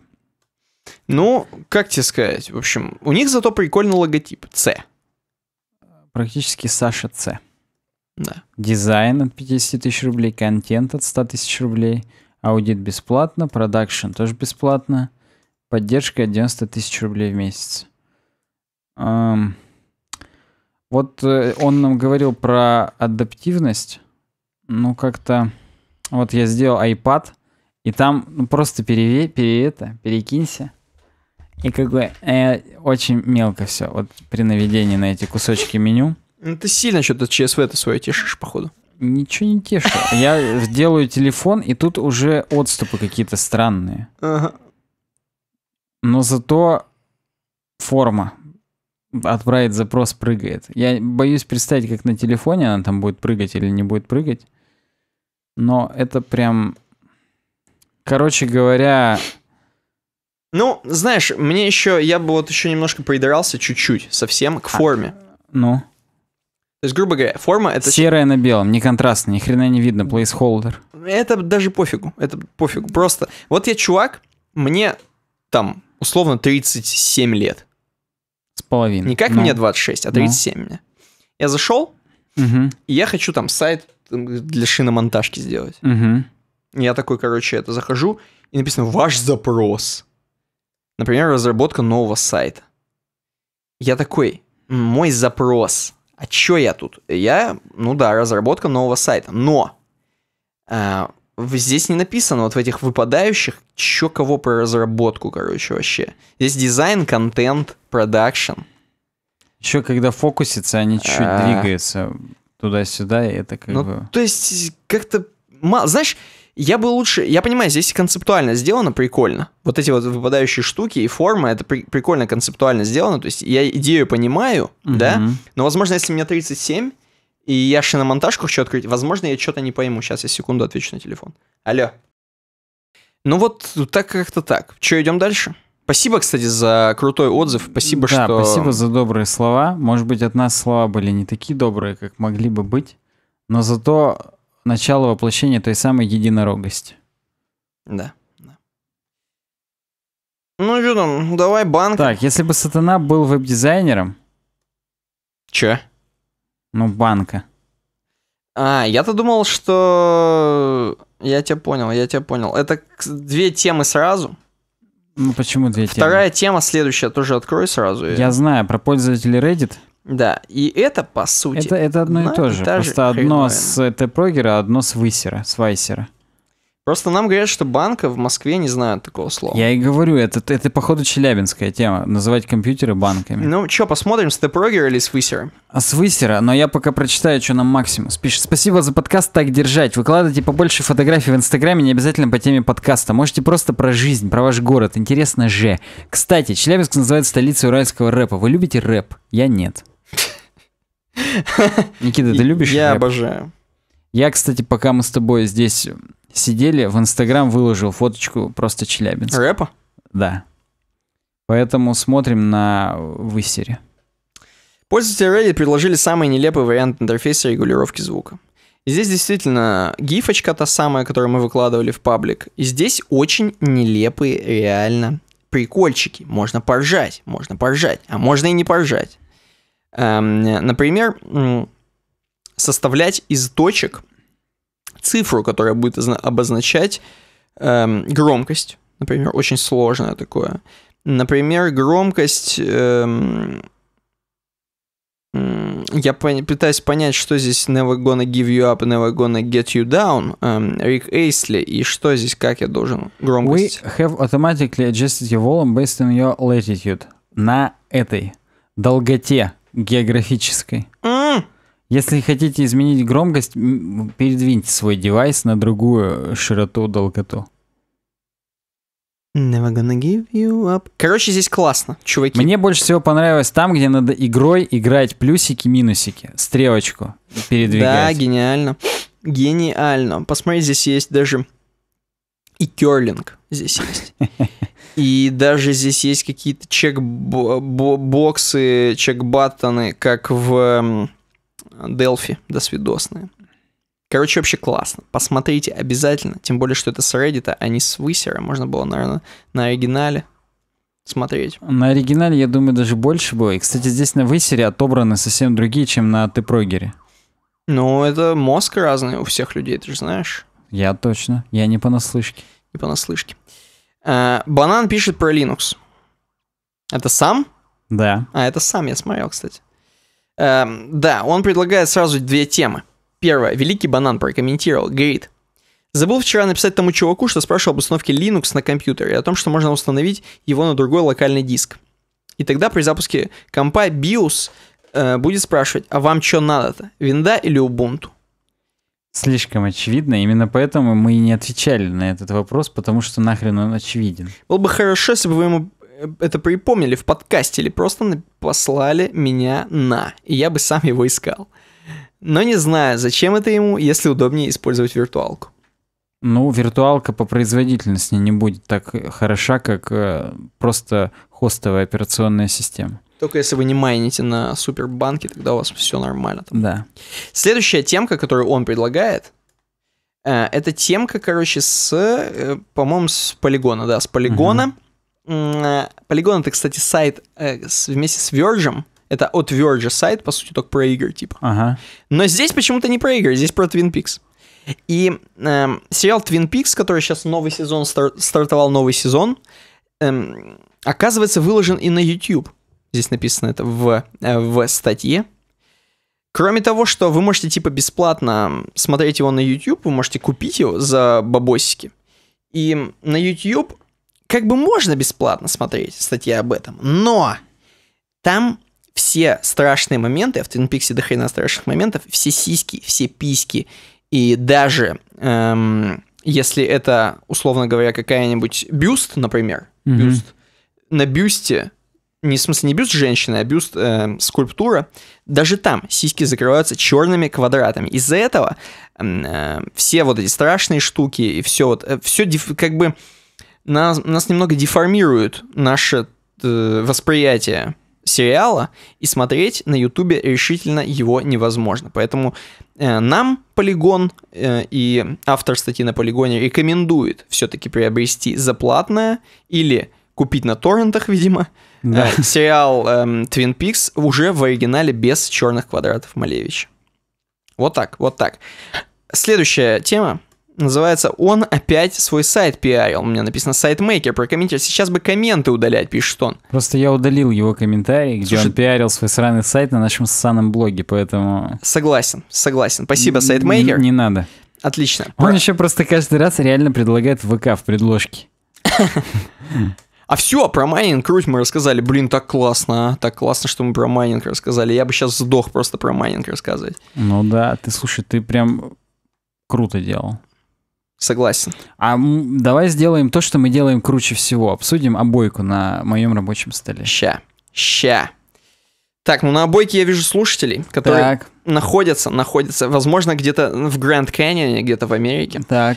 и стоят и смотрят на вот эту бездну подкаста, Мгм. возможно, орут туда матерными словами, Так.